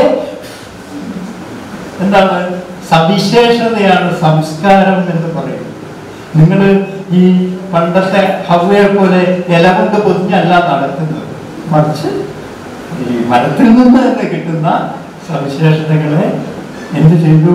നമ്മളിങ്ങനെ കുക്ക് ചെയ്തു കുക്ക് ചെയ്ത് അങ്ങനെ കോട്ടണാക്കി അത് ഉടുപ്പാക്കി അത് കുക്ക് ചെയ്ത് കുടുക്കുണ്ട്. കുപ്പായ കുടുക്കുണ്ട്. രണ്ടെണ്ണം പോരെന്നാൽ ഈ കുപ്പായമില്ലെന്നൊരു കുടുക്ക് വലിച്ചുണ്ടേ കുടുക്കിന് ഒരു വലിയുണ്ട് അങ്ങനെ ഒരുപാട് കുടുക്കിന്റെ അകത്തായതുകൊണ്ട് നമ്മൾ എന്ത് ചെയ്യുന്നു? നമ്മളിങ്ങനെ ഈ കുടുക്കിനെ പരിഹരിക്കാനായി സ്വയം രൂപാന്തരം ചെയ്യുന്നു. തീയിൽ വെച്ച് വേദിച്ച് വ്യത്യസ്തമാക്കുന്നത് പോലെ ഏതെങ്കിലും ഇന്ധനത്തിന്റെ സഹായത്തോടു കൂടി നാം രൂപാന്തരം കൊള്ളുന്നു. ആ രൂപാന്തരത്തിന്റെ മേൽ നമ്മൾ അതിജീവിക്കുന്നു. അതുകൊണ്ട് ഗവേഷണം നടത്തുന്നുണ്ട് ഈ വസ്ത്രങ്ങൾ ധരിച്ചിരുന്നെങ്കിൽ വസ്ത്രങ്ങൾ ധരിക്കാതിരുന്നെങ്കിൽ നിങ്ങൾ എങ്ങനെ ജീവിക്കുമായിരുന്നു എന്നതിനെ കുറിച്ചൊക്കെ ഗവേഷണം ഉണ്ടായിട്ടുണ്ട്. വലിയ കഷ്ടമാണ് വസ്ത്രങ്ങൾ ധരിച്ചില്ലായിരുന്നെങ്കിൽ അതിജീവനത്തിന് ഈ ചൂടിലും ഈ തണുപ്പിലും മാറി വരുന്ന കാലാവസ്ഥയിലും അങ്ങനെ അങ്ങനെ ഈ മാറി വരുന്ന അവസ്ഥകളിലൊക്കെ അതിജീവിക്കാൻ വേണ്ട പരിണാമങ്ങൾ നമ്മളിൽ സൃഷ്ടിക്കാൻ ആവശ്യമായ ഇന്ധനം നമുക്ക് തരികയാണ് പ്രമിറ്റ്യൂസ് ചെയ്തത് എന്നർത്ഥം മറ്റെല്ലാ ജീവജാലങ്ങൾക്കും അതേ നമുക്ക് മാത്രം ഇങ്ങനെ ഇന്ധനം അതെന്താ? നമ്മുടെ ബുദ്ധിയും നമ്മുടെ ഭാവനയും ഒക്കെ ഉപയോഗിച്ചിട്ട് വേണം നമുക്ക് എന്ത് ചെയ്യാൻ അതിജീവിക്കാൻ. അല്ലാതെ പറ്റില്ല. അപ്പൊ നമ്മൾ നമുക്ക് തന്നെ അനിവാര്യരായി തീരുന്നു. ഭൂമുഖത്ത് ഓരോ മനുഷ്യനും അനിവാര്യതാബോധം പോലെ സുഖം തരുന്ന ഒന്നുമില്ല. നിങ്ങളൊരു പിന്നെ എന്താണ് പിക്നിക്കിനോ അല്ലെങ്കിൽ ഒക്കെ യാത്രയ്ക്കോ ഒക്കെ പോയി വീട്ടിൽ മടങ്ങി വരുമ്പോൾ നിങ്ങൾ കേൾക്കുന്നത് ഒരു രണ്ട് ദിവസമായിട്ട് ആ കുട്ടി ഇവിടെ ഇല്ലാത്തതുകൊണ്ട് ആകെ ഉറങ്ങിയത് മാതിരിക്കുന്നു രണ്ട് ദിവസമായിട്ട് അവൻ ഇവിടെ ഇല്ലാത്തതുകൊണ്ട് എങ്ങനെയാണ്? എന്ന് പറയുന്ന കേൾക്കാനല്ലേ നിങ്ങൾക്കും ഇഷ്ടം. അത്രമേൽ അനിവാര്യനായിരിക്കണം എന്നാണ് നമുക്കൊക്കെ ഇഷ്ടം. അങ്ങനെ ലോകത്തിൽ നമ്മൾ അനിവാര്യനായി തീർന്നത് നമ്മുടെ പ്രതിഭ കൊണ്ട് മാത്രമാണ് ലോകത്തിന്റെ അതിജീവനം സാധിക്കുക നമുക്ക് എന്നതുകൊണ്ടാണ്. അങ്ങനെ വലിയ ഒരു ഗുണമാണ് വാസ്തവത്തിൽ ഈ പ്രകൃതി വിഷയം ഉള്ളത്. വാസ്തവത്തിൽ ചരിത്രത്തെക്കാൾ എത്രയോ ആഴമുള്ളതാണ് ഈ വിത്തുകൾ ഇതൊക്കെ എന്താ കാര്യം? പ്രാചീന മനുഷ്യൻ അതിജീവിക്കാൻ വേണ്ടി ഉണ്ടാക്കിയ കഥകളുടെ പേരാണ് മിത്തുകൾ. നമുക്ക് അതിജീവിക്കണമെങ്കിൽ ഞാൻ പറഞ്ഞല്ലോ ഇനിയൊക്കെ ഉണ്ടെങ്കിലും നമ്മൾ അസന്തുഷ്ടരാണ് എല്ലാവർക്കും പ്രശ്നങ്ങളാണ്. അങ്ങനെ ഇരിക്കുന്ന നമുക്ക് ഈ നമ്മുടെ വിപരീത സാഹചര്യങ്ങളെ ഇണക്കാൻ വേണ്ടി ഞാൻ ചിത്രത്തെ കുറിച്ച് നേരത്തെ പറഞ്ഞില്ലേ? അങ്ങനെ വിപരീത സാഹചര്യങ്ങളെ ഇണക്കാൻ വേണ്ടി നമുക്ക് കഥ വേണം നമുക്ക് സംഗീതം വേണം വളരെ ഭംഗിയായിട്ട് പ്രാർത്ഥന ആലോചിച്ചു ഇവിടെ ഈ കുട്ടി. ഞാൻ ഭയപ്പെട്ടിട്ടുണ്ടായിരുന്നു. പല സ്ഥലത്തും കണ്ടുപോയിരുന്നതാണ് ഒരാളോട് കുട്ടികളൊക്കെ ഉണ്ടാവും. അല്ലെങ്കിൽ ആളുകളൊക്കെ ഉണ്ടാവും നന്നായിട്ട് പ്രാർത്ഥനയൊക്കെ ചെയ്യാൻ പറ്റുക. എന്നാലും എന്ത് പറയും? നമുക്ക് മൗന പ്രാർത്ഥന മൗന പ്രാർത്ഥന ഒരു പ്രാർത്ഥനയാണ് നിങ്ങൾക്ക് ആർക്കെയും തോന്നുന്നത്. എന്തൊക്കെയാണ് അപ്പോൾ നമ്മുടെ മനസ്സിലൂടെ പോയിക്കൊണ്ടിരിക്കുക എന്നൊരു അല്ല അപ്പൊ ഇതിന്റെ അപ്പൊ ഈ കഥയും ഈ കവിതയിൽ ഒക്കെ നമുക്ക് അനിവാര്യമാണ് അനിവാര്യമാണ് എന്നതിന്റെ ഒരുപാട് കഥകളുണ്ട് ലോകത്തിൽ അതിൽ ഒരു കഥ എന്ന് പറയുന്നത്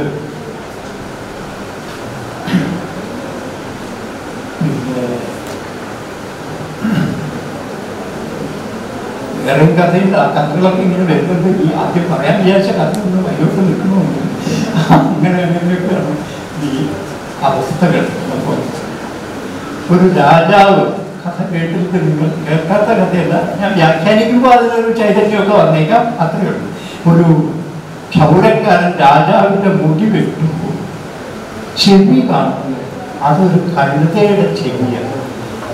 ഇപ്പൊ വലിയ സൗകര്യ വാസ്തവത്തിൽ ഈ മാസ്ക് ഇടുന്നത് കൊണ്ട് പറ്റാം മാസ്ക് ഇടുന്നതുകൊണ്ട് വലിയ വ്യത്യാസമാണ് മുഖം. എന്തായാലും മറ്റൊരാൾ കാണുകയില്ല. പല്ലൊക്കെ വളരെ ഉന്തിയിട്ടുള്ള ആളുകൾക്ക് തൽക്കാലം ഒരു വർഷമായിട്ട് വലിയ പ്രശ്നങ്ങളൊന്നുമില്ല.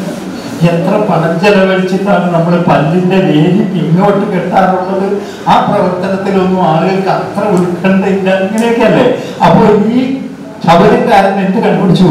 ഇയാൾക്ക് ഒരു കഴുത ചെവിയാണ് രാജാവിന്. എന്തൊരു രഹസ്യമാണ് അയാൾക്ക് കിട്ടിയിട്ടുള്ളത്? ഒരു രാജാവിനെ സംബന്ധിച്ച രഹസ്യമാണ്. അത് തിരിച്ചറിഞ്ഞ രാജാവ് പറഞ്ഞു നിന്റെ മനസ്സിൽ എന്താണ് എന്ന് ഞാൻ ഊഹിക്കുന്നു. നീ ഇത് ഒരാളോട് പറയാനിട വന്നാൽ നിന്റെ കരുത്തിനു മീതെ ഇപ്പോഴുള്ളത് ഉണ്ടാവുകയില്ല അതത്ര സുഖമുള്ള ഒരു കാര്യമല്ലല്ലോ. അതുകൊണ്ട് അയാൾ ആരോടും പറയാതെ മനസ്സിൽ വെച്ചു. മനസ്സിൽ വെക്കാൻ പറ്റില്ല അത്ര കാലം.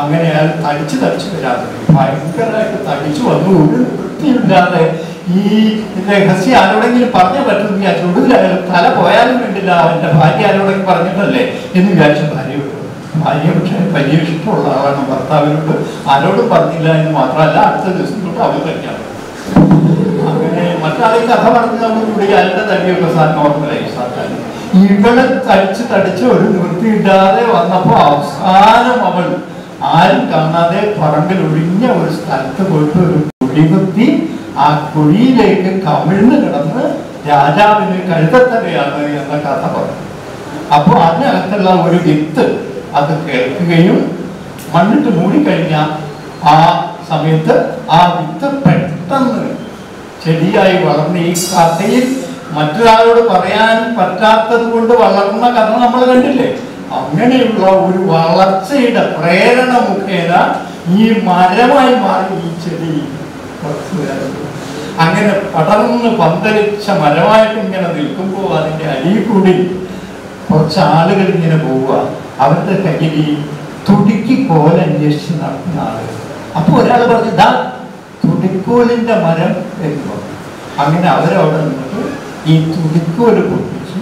ആ തുടിക്കോൽ കൊണ്ട് തുടിയിലടിച്ചപ്പോ രാജാവിന് കഴുതച്ചെടി രാജാവിന് കഴുതച്ചെവി അങ്ങനെ അടക്കി വെക്കാൻ കഴിയാത്ത രഹസ്യങ്ങളൊക്കെ ലോകത്ത് കലാസൃഷ്ടികളായി രൂപപ്പെടുന്നു. അടക്കി വെച്ചില്ലെങ്കിൽ അല്ല അടക്കി വെക്കുകയാണെങ്കിൽ നമുക്ക് ജീവിതം പ്രയാസമായി തീരും എന്ന മട്ടിലുള്ള രഹസ്യങ്ങളെല്ലാമാണ് കഥയും കഥയും നോവലും കവിതയും ചിത്രവും ഒക്കെയായി മാറുന്നത് മറ്റൊരാളോട് പറയാതിരുന്നെങ്കിൽ അതിജീവനം അസഹ്യമായി തിന്ന ഒരു ജനത സൃഷ്ടിച്ച കഥയും കവിതയുമാണ് നമ്മൾ കാണുന്നതൊക്കെ. ഇതിന്റെയൊക്കെ ന്യായം ഇതാണ് ഈ ആന്തരികമായ നിങ്ങളിപ്പോൾ ഉപയോഗിക്കുന്ന ഒരു ഭാഷയില്ലേ തള്ള്.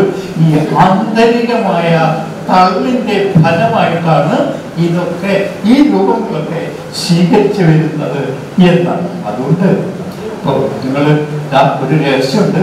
അവളോട് പറയാൻ പോകുന്ന സമയത്താണ് ബസ് വന്നിട്ട് അവിടെ കയറിപ്പോയെന്ന് വെച്ചാൽ ആ രാത്രി നിങ്ങൾ എത്ര രസം രസമിച്ചിട്ടാണ് കഴിച്ചു കൂട്ടുക അങ്ങനെയുള്ള വ്യസനങ്ങൾക്കൊക്കെ പരിഹാരമായിട്ടുള്ള ഒരു കഥാകഥനത്തിന്റെയും അതുകൊണ്ട് എന്താ ഇത്തരം കഥകളൊന്നും ഇല്ലെങ്കിൽ ലോകം നിലനിൽക്കില്ല. ഞാൻ തുറന്നിട്ട് പറഞ്ഞില്ലേ ഈ ഈ മനുഷ്യൻ ഈ അവസ്ഥയിലായിരിക്കുന്ന മനുഷ്യനെ ഈ അവസ്ഥയെ മറികടക്കണമെങ്കിൽ ഇങ്ങനെ കഥകളിൽ വെളിപ്പെട്ട ഒരു ലോകത്തിന്റെ തുണയുണ്ടാകണം.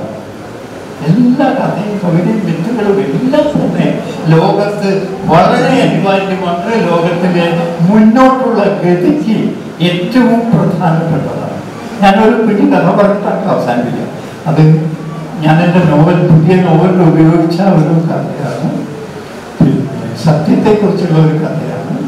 ഇതുവരെ പറഞ്ഞു വന്നതുമായിട്ട് ഞാൻ അതിനെ ബന്ധിപ്പിച്ചിട്ട് അവസാനിപ്പിക്കാം. അനുചിതമായതൊന്നും നമ്മൾ പറയരുത് പ്രശ്നങ്ങളൊക്കെ എല്ലാം അവസാനം ആലോചിച്ചാൽ അതിനൊക്കെ ഒരു ഡിസൈൻ ഉണ്ടാകും അപ്പം ഈ ഒരു ഇന്റീരിയർ ഡിസൈനിങ്ങിന്റെ ഭംഗി പിന്നെ നിങ്ങൾക്ക് അനുഭവമായി തീരും സംസാരിക്കുകയും ചെയ്യുന്ന കാലത്ത് എന്നാണ്. ഇതാ ഒന്നുമില്ല. സത്യം നുണയും ഒന്നിച്ച് പഠിച്ചതാണ്. അങ്ങനെ ഒന്നിച്ച് പഠിച്ച് പഠിപ്പൊക്കെ കഴിഞ്ഞു. അങ്ങനെ കുറെ കാലം കാണാതായി അങ്ങനെ ഒരു ദിവസം യാദൃശ്ചികമായിട്ട് കാണുന്നു. സത്യമാകട്ടെ കയറി പറഞ്ഞ വസ്ത്രങ്ങളിൽ ആകെ ക്ഷീണിതനായിട്ടാണ്.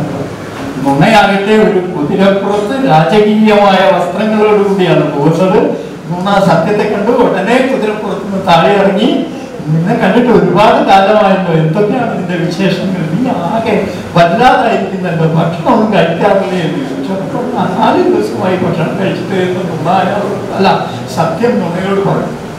അപ്പോ സത്യം പറഞ്ഞു നീ എന്റെ കൂടെ വാ. ഇവിടെ പ്രധാനപ്പെട്ട ഒരു ഹോട്ടലുണ്ട് അവിടെ പോയിട്ട് ഭക്ഷണം കഴിക്കാന്ന് പറഞ്ഞ് അയാളെ പുറത്ത് കയറ്റി ഹോട്ടലിൽ കൊണ്ടുപോയി എല്ലാ വിഭവങ്ങൾക്കും ഓർഡർ ചെയ്തു. സത്യം ആദ്യമായിട്ടാണ് ഇങ്ങനെ സത്യത്തിൽ ആദ്യമായിട്ടാണ് ഇത്രയും വിഭവങ്ങൾ ഉള്ളതായിട്ട് സത്യം മനസ്സിലാക്കുന്നത്. അങ്ങനെ ഈ വിഭവങ്ങളൊക്കെ വന്നു. അയാൾ ഭക്ഷണം കഴിച്ചുകൊണ്ടിരിക്കുകയാണ്. അങ്ങനെ ഭക്ഷണം കഴിച്ചുകൊണ്ട് ഇതിങ്ങനെ കഥ പറഞ്ഞുകൊണ്ടിരിക്കുകയാണ്? ഭക്ഷണം കഴിച്ചിട്ടും എണീക്കാൻ ഭാവമില്ല. നുണ. അതെന്താണ് ഇങ്ങനെ കൗതുകത്തോടു കൂടി ആലോചിച്ചുകൊണ്ടിരിക്കുന്ന സമയത്ത് നുണ ഈ ഹോട്ടൽ മാനേജറെ അടുത്തേക്ക് വിളിച്ചു.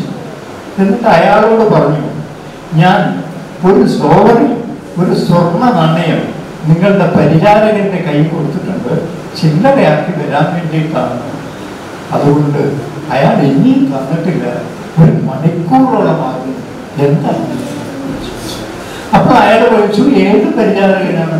ദാ ആ മെലിഞ്ഞ ഒരു പരിചാരകനെ ചൂണ്ടിക്കാണിച്ചു അയാൾ വിളിച്ചു എന്നിട്ട് ചോദിച്ചു ഇയാളെ നിങ്ങൾക്ക് ഈ സോറി തന്നിട്ടുണ്ടോ? എന്ന് പറയുന്നു. എന്റെ കയ്യിൽ ആരും സോറിനും തന്നിട്ടില്ല.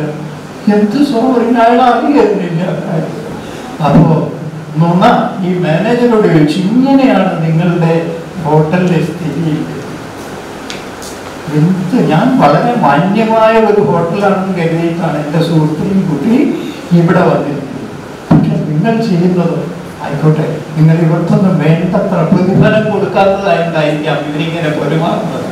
എന്ന് പറഞ്ഞിട്ട് അയാൾ ഗ്രീഷയിൽ നിന്ന് പുതിയൊരു സ്വർണ നാണയം എടുത്ത് ഈ ഹോട്ടൽ മാനേജർ അപ്പോൾ അയാൾ അത്ഭുതപ്പെടുകയാണ്. ആ ഹോട്ടലിൽ അങ്ങനെ സ്വർണ നാണയം കൊടുക്കുന്നവരൊന്നും വരാറില്ല. അങ്ങനെയുള്ള ഒരു മാന്യനോടാണ് താനിത് പറഞ്ഞത് എന്ന് ആലോചിച്ച് അയാൾ പശ്ചാത്തപിക്കുകയും ആ സ്വർണ നാണയം സ്വീകരിക്കാതെ അയാൾ കൊടുത്തു എന്ന് പറഞ്ഞ സ്വർണ നാണയത്തിന്റെ ബാക്കി ഈ നുണക്കി കൊടുക്കുകയും ചെയ്തു. അങ്ങനെ സത്യവും ഉണങ്ങിക്കൂടി കൂടി ഇറങ്ങി വരുമ്പോ ആ ഹോട്ടൽ മാനേജർ ആ പരിചാരകനെ അടിച്ച് അതിദയനീയമായ നിലവിളി കേട്ടുകൊണ്ടാണ് ഇറങ്ങി വരുന്നത്. അപ്പോ നുണ അയാളോട് ചോദിക്കുക സത്യത്തിനോട് ചോദിക്കുക ഇനി നമ്മൾ എന്നാ കാണുക ഇനി നമ്മൾ ഒരിക്കലും കാണില്ല. ഇത്തരം സത്യത്തിന്റെയോ നുണയുടെയോ ഒരു കഥ പറഞ്ഞാലല്ലാതെ ഈ ലോകത്തിന്റെ ആരാ ജയിക്കുന്നത് എപ്പോഴും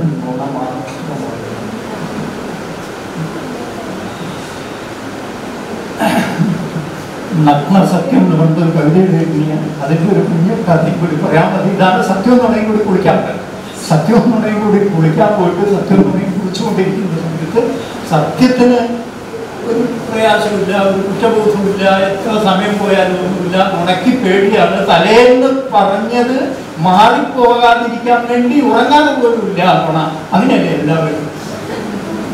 അങ്ങനെ പ്രയാസത്തിലാണ് അങ്ങനെ സത്യം. കുളിച്ചുകൊണ്ടിരുന്നു ഉണക്കി ഒരു സ്വസ്ഥതയുമില്ലാത്തതിനാൽ അത് പെട്ടെന്ന് കുളി അവസാനിപ്പിച്ച് കരയിലുള്ള രണ്ടുപേരും വസ്ത്രം അടിച്ചു വെച്ചിട്ടാണ് കുളിക്കാൻ പോയത്. കരയിൽ രണ്ടുപേരുടെയും വസ്ത്രമുണ്ട് അപ്പോൾ നുണ ഏതിന്റെ വസ്ത്രം എടുക്കുക. സത്യത്തിന്റെ വസ്ത്രം അല്ലേ എടുക്കൂ. അങ്ങനെ നുണ സത്യത്തിന്റെ വസ്ത്രം ധരിച്ചു പോകുന്നു. അങ്ങനെ സത്യം സാവകാശം കുളിച്ച് കയറി വന്നു നോക്കിയപ്പോൾ തന്റെ വസ്ത്രം ഇരുന്ന സ്ഥലത്ത് നുണയുടെ വസ്ത്രമാണ്. സത്യം മറ്റൊരാളുടെ വസ്ത്രം ധരിക്കോ. ഇല്ല സത്യം നഗ്നമായി ഭൂമിയിൽ സഞ്ചരിക്കുന്നു. അതുകൊണ്ട് നിരപരാധികളായ എത്രയോ ആളുകൾ തെളിവിൽ കൊടുക്കും. നിരപരാധിക്ക് എന്ത് തെളിവ് കൊടുക്കാൻ സാധിക്കില്ല നമ്മുടെ ജയിലുകളിൽ ഇപ്പോഴും ശിക്ഷ അനുഭവിച്ചു കൊണ്ടിരിക്കുന്നു. നിങ്ങൾക്കറിയാം സത്യം വിശ്വസിപ്പിക്കാൻ സാധ്യമല്ല. അതിന്റെ തെളിവുകൾ കയ്യിലില്ല. നുണ അതിനെ വിശ്വസിപ്പിക്കാൻ എളുപ്പമാണ്. അത് പ്ലാൻ ചെയ്തിട്ടാണ് എല്ലാം ചെയ്യുക. നമ്മുടേത് അതിന് തെളിവുണ്ടാവും. നമ്മുടെ കോടതികൾ തെളിവ് കോടതികൾ മാത്രമാണ്. സത്യ കോടതികളേ അല്ല തെളിവില്ലാത്തതിനാൽ വിട്ടയച്ചു എന്നും തെളിവുള്ളത് കൊണ്ട് ശിക്ഷിച്ചു എന്നും തെളിവുണ്ടാക്കാൻ സാധിക്കുന്നത് കൊണ്ട് നിരപരാധി ശിക്ഷിക്കപ്പെടും എന്നും ഉള്ള അവസ്ഥയുള്ള ഒരു ലോകത്തിനെ കുറിച്ച് പറയാൻ ഇങ്ങനെ ഒരു കഥയല്ലാതെ പറ്റുകയില്ല. അതുമായി ബന്ധപ്പെടുന്നു അങ്ങനെ ലോകത്തിന്റെ രഹസ്യങ്ങൾ പറയാൻ വേണ്ടി നമ്മൾ കഥ പറയുന്നു നമ്മൾ കവിതകൾ ആവിഷ്കരിക്കുന്നു. അങ്ങനെ ലോകത്തിന്റെ രഹസ്യങ്ങൾ പറയാൻ വേണ്ടി നിങ്ങൾ ഇങ്ങനെ മാഗസിൻ പ്രകാശിപ്പിച്ചിരിക്കുന്നു നിങ്ങളുടെ ക്യാമ്പസിന്റെ സത്യത്തിന്റെ ആവിഷ്കാരമാണ് ഈ രണ്ട് മാഗസിനുകളും എന്ന് ഞാൻ വിചാരിക്കുന്നു നിങ്ങളെ അഭിനന്ദിക്കുന്നു നന്ദി. സമാന്തര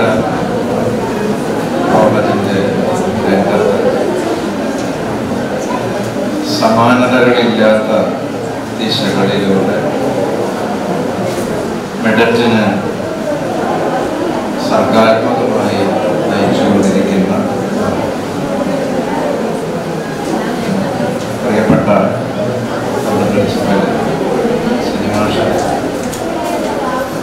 когда продувая на этот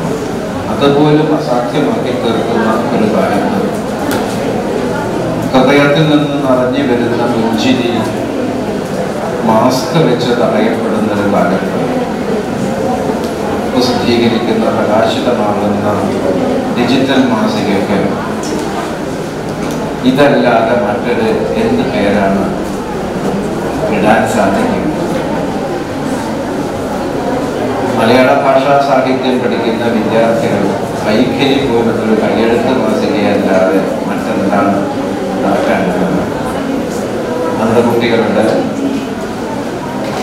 ഏറ്റവും നല്ല രചനകൾ അവരുടെ സാഹസങ്ങൾ അവരുടെ ശ്രമങ്ങൾ ഏറ്റവും കൂടുതൽ പ്രശംസനീയമാണ്. ഈ ഡിജിറ്റൽ മാസികയുടെയും കൈയെടുത്ത മാസികയുടെയും പിന്നിൽ പ്രവർത്തിച്ച എന്റെ ഏറ്റവും പ്രിയപ്പെട്ടതായ വിദ്യാർത്ഥി വിദ്യാർത്ഥിനികളെ ഒക്കെ കണ്ട് അഭിനന്ദിക്കാനും പ്രശംസിക്കാനും മാത്രമല്ല ഈ ഒരു ചടങ്ങിൽ ആശംസകൾ കൂടി അറിയിച്ചു പ്രിയപ്പെട്ടവരെ മെഡിക്കൽ കോളേജിന്റെ ഒരു ചിരകാല സ്വപ്നമായിരുന്നു. B A. ഭാഗ്യ വിഭാഗം വിദ്യാർത്ഥികളെ സംബന്ധിച്ചിടത്തോളം നമ്മൾ കഴിഞ്ഞ വർഷം മുതൽ ഉള്ള അവരുടെ പ്രയത്നത്തിന്റെ ഫലമായിട്ടാണ് ഇന്ന് ഈ മാഗസിൻ നമുക്കിവിടെ പ്രകാശനം ചെയ്യാൻ കഴിഞ്ഞത്. പനിമാഷ് നേരത്തെ പറഞ്ഞതുപോലെ ഇത്തരം ഒരു മാഗസിൻ പ്രകാശനം ചെയ്യുമ്പോൾ നമ്മുടെ മനസ്സിലേക്ക് എന്നും ഓടി വെക്കുന്നത് ദിലീപ് സാറിന്റെ അച്ഛനിക്കുന്ന ഓർമ്മകളാണ്. നമ്മുടെ ഏവരും തിരുമ്പി പോകുന്ന ആ മുഖം എന്നും മനസ്സിലേക്ക് ഓടി വരികയാണ്. ക്ലാസ്സിൽ കയറുമ്പോഴും ഒക്കെ തന്നെ ആ ഒരു ചിന്തകളാണ് എപ്പോഴും വരുന്നത്. ഇപ്പൊ മലയാളത്തിന്റെ വിദ്യാർത്ഥികൾ അതോടൊപ്പം തന്നെ ഇംഗ്ലീഷിന്റെ വിദ്യാർത്ഥികളുടെയും ഒക്കെ തന്നെ ഒരു കൂട്ടായ പ്രയത്നവും ഒപ്പം എന്റെ പ്രിയപ്പെട്ട സഹപ്രവർത്തകരുടെയും ഒക്കെ തന്നെ നല്ല ഒരു ഇടപെടലുമാണ് ഇത്തരമൊരു മാഗസിൻ നമുക്ക് ഇറക്കാൻ കഴിഞ്ഞിട്ടുള്ളത്.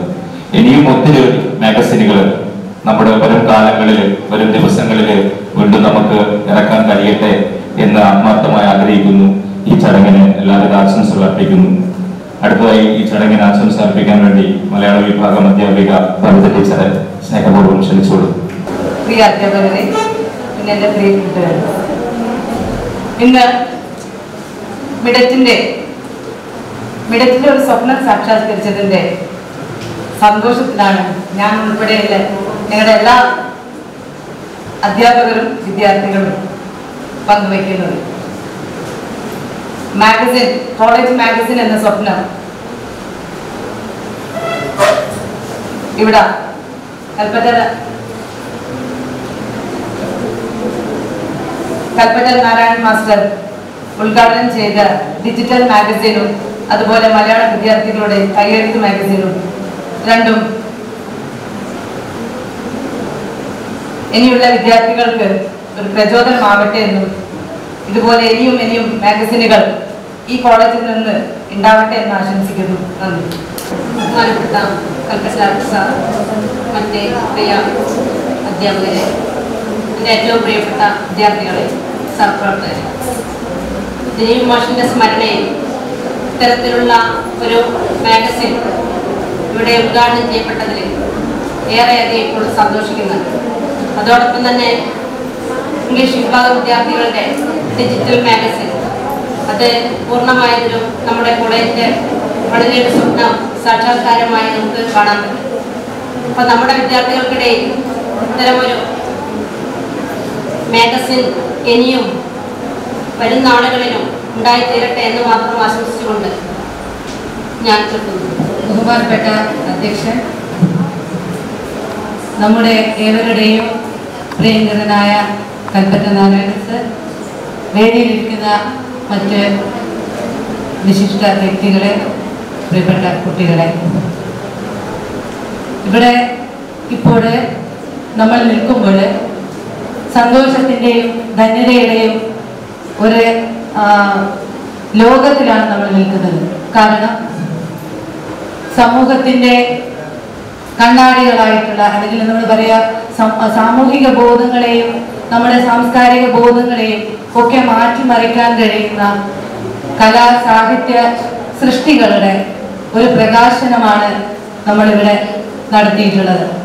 അപ്പോൾ ഈ ഒരു പ്രകാശന ചടങ്ങ് ധന്യമാക്കാൻ നമുക്ക് കിട്ടിയ ഉദ്ഘാടകൻ പ്രസംഗിച്ചതുപോലെ ഇത് ഈ ഒരു കലയുടെയും അതുപോലെ സാഹിത്യത്തിന്റെയും ലോകം നിങ്ങളിൽ ഓരോരുത്തരിലൂടെയും തുറന്നുകൊണ്ട് വരുന്ന തലമുറ ഒരു ഇനിയും വികസിതമായ ഒരു ജനതയാവട്ടെ എന്ന് ആഗ്രഹിക്കുകയാണ്. ഒപ്പം ഇത് നമ്മുടെ എല്ലാ വിദ്യാർത്ഥികൾക്കും പ്രചോദനമാകട്ടെ എന്നുകൂടി ആഗ്രഹിക്കുന്നു. എല്ലാവിധ ആശംസകളും. ബഹുമാനപ്പെട്ട വിശിഷ്ട വ്യക്തികളെ നമ്മുടെ ക്ഷണം സ്വീകരിച്ച് ഇവിടെ എത്തിച്ചേർന്ന ശ്രീ കൽപ്പറ്റ നാരായണ മാസ്റ്റർ അധ്യാപകരെ പ്രിയ വിദ്യാർത്ഥികൾ ഒരു വിദ്യാർത്ഥി എന്ന നിലയിൽ വളരെ സന്തോഷകരമായ ഒരു മുഹൂർത്തമാണിത്. എന്റെ സഹപാഠികൾ കൂടി ചേർത്ത് തയ്യാറാക്കിയ ഡിജിറ്റൽ മാഗസിൻ അടച്ചുപൂട്ടിയ പുഞ്ചിരി എന്ന കലാസൃഷ്ടിയുടെ പ്രകാശന ചടങ്ങാണിത് ഈ ഒരു കലാസൃഷ്ടി എല്ലാവർക്കും പ്രചോദനമാകട്ടെ എന്ന് ആശംസിക്കുന്നു ബഹുമാനപ്പെട്ട ശ്രീ കൽപ്പറ്റ നാരായണൻ മാസ്റ്റർ എന്റെ മറ്റു പ്രിയപ്പെട്ട അധ്യാപകരെ വിദ്യാഭ്യാസ സുഹൃത്തുക്കളെ ആദ്യമായിട്ടുള്ള ഒരു മലയാളം ബാച്ചാണ് ഞങ്ങൾ ഇനി കുറച്ച് ദിവസങ്ങൾ കൂടി കഴിഞ്ഞാൽ ഇവിടെയുള്ള പൂർവ വിദ്യാർത്ഥികളായി മാറുകയാണ്. ഒരു കയ്യെഴുത്ത് മാസിക എന്നൊരു ആശയം ഞങ്ങളെല്ലാവരും കൂടെ അവതരിപ്പിച്ചപ്പോൾ അതിന് എല്ലാവരും സപ്പോർട്ടും നൽകി കൂടെ നിന്ന മെഡിക്കൽ കോളേജിലെ എല്ലാ അധ്യാപകർക്കും എന്റെ പ്രിയപ്പെട്ട സുഹൃത്തുക്കൾക്കും ഈ ഒരു അവസരത്തിൽ ഞാൻ നന്ദി രേഖപ്പെടുത്തുകയാണ്. ഇനി വരുന്ന മലയാള വിദ്യാർത്ഥികൾക്കും മറ്റുള്ള വിദ്യാർത്ഥികൾക്കും ഇങ്ങനെയുള്ള മാസികകളും മാഗസിനുകളും തയ്യാറാക്കാൻ സാധിക്കട്ടെ എന്ന് ആശംസിച്ചുകൊണ്ട് എന്റെ വാക്കുകൾ നിർത്തും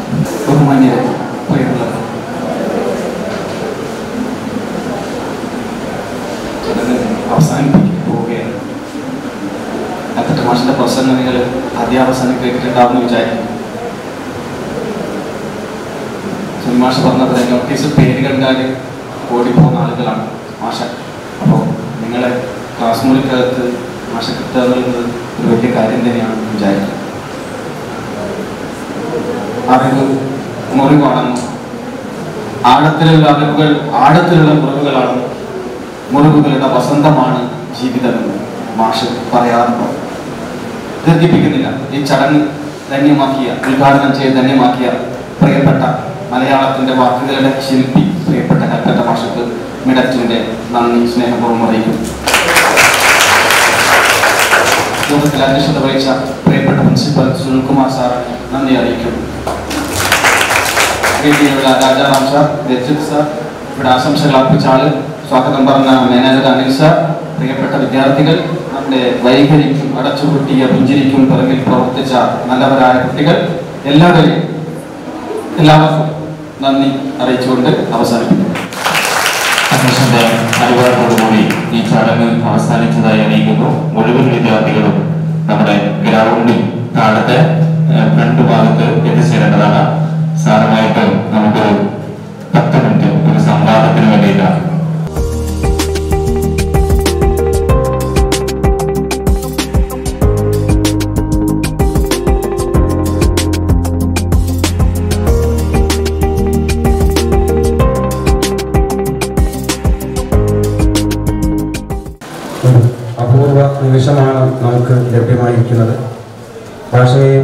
സാഹിത്യത്തെയും കുറിച്ച് നിങ്ങൾക്കുള്ള ചില സംശയങ്ങളും ചില സന്ദേഹങ്ങളും മാഷുമായി പങ്കുവെക്കുകയും അതിന് അദ്ദേഹത്തിന്റെതായ നിലപാടുകളും അഭിപ്രായങ്ങളും അദ്ദേഹം നിങ്ങളോട് പറയുകയും ചെയ്യും. നിങ്ങളുടെ പ്രസംഗം കഴിഞ്ഞ് വന്നതാണ്. അപ്പോൾ ചോദ്യങ്ങൾ ചുരുക്കിയിട്ട് ലളിതമായ രീതിയിൽ മനസ്സിലാവുന്ന വിധത്തിൽ ചോദിക്കുക. അപ്പോൾ എന്തിനായാലും നമ്മളെപ്പോഴും ഭാഷയും ഈ സ്ഥാപനവും ഒരു വലിയ പ്രസംഗം കഴിഞ്ഞ് കഴിഞ്ഞ് വീണ്ടും നമ്മളോട് സംവദിക്കാനിരിക്കുന്ന മോശമോട് കടപ്പെട്ടിരിക്കും. അതുകൊണ്ട് എല്ലാവരും ഈ സംവാദത്തിലേക്ക് മനസ്സും കണ്ണും ഭാഗം തുറന്ന് സംവാദത്തിലേക്ക് വരിക എന്ന് മാത്രം പറയുന്നു. മാഷയും ഏവരെയും ഈ സംവാദ പരിപാടിയിലേക്ക് സ്വാഗതം ചെയ്യുന്നു. ആദ്യമായി ഫൈനൽ മലയാളത്തിലെ മുഫീദ. മലയാളം അവസാന വർഷ വിദ്യാർത്ഥിയാണ്. സാറ് വർഷങ്ങൾക്ക് മുമ്പ് ഒരു ക്യാമ്പസ് ലീവ് നയിച്ച ഒരാളാണ്. അപ്പോൾ അന്നത്തെ കാലത്തെ കലാലയ ദിനങ്ങളും സൗഹൃദവും പ്രണയവും ഇന്നത്തെ കലാലയ ദിനങ്ങളും സൗഹൃദം പ്രണയവും ഇങ്ങനെ വ്യത്യാസപ്പെട്ടിരിക്കുന്നു എന്ന് പറയുന്നു ഒരു ഭാഗ്യം ഇതുപോലെ ഒരു സെമസ്റ്റർ സമ്പ്രദായം നിരന്തരമായ പരീക്ഷയോ ഇല്ലായിരുന്നു അപ്പോൾ വലിയ സ്വാതന്ത്ര്യം അനുഭവിച്ചിരിക്കുന്നു നിങ്ങളെ അപേക്ഷിക്കുന്നുണ്ട് ഈ രണ്ട് വർഷം അല്ലെങ്കിൽ മൂന്ന് വർഷമുള്ള കോഴ്സിന്റെ അവസാനത്തെ ഒരു മാസമൊക്കെ ഈ പരീക്ഷ ഭയവും അതുവരെയും പരീക്ഷാ ഭയമൊന്നും ഇല്ലാതെ സന്തോഷത്തോടുകൂടി ജീവിച്ചിരുന്നു എന്നാണ് ഒരു കാര്യം. രണ്ടാമതായി ഇന്നത്തേതുപോലെ ഒരു രാഷ്ട്രീയ അന്തരീക്ഷമല്ല അന്ന് ക്യാമ്പസിൽ ഉണ്ടായിരുന്നു പല തരക്കാരുണ്ടായിരുന്നു. ഇന്നിപ്പോൾ ക്യാമ്പസിൽ ഏത് രാഷ്ട്രീയ പാർട്ടിയുടെ വിദ്യാർത്ഥി വിഭാഗത്തിനാണോ ശക്തി അവർ മാത്രമാണ്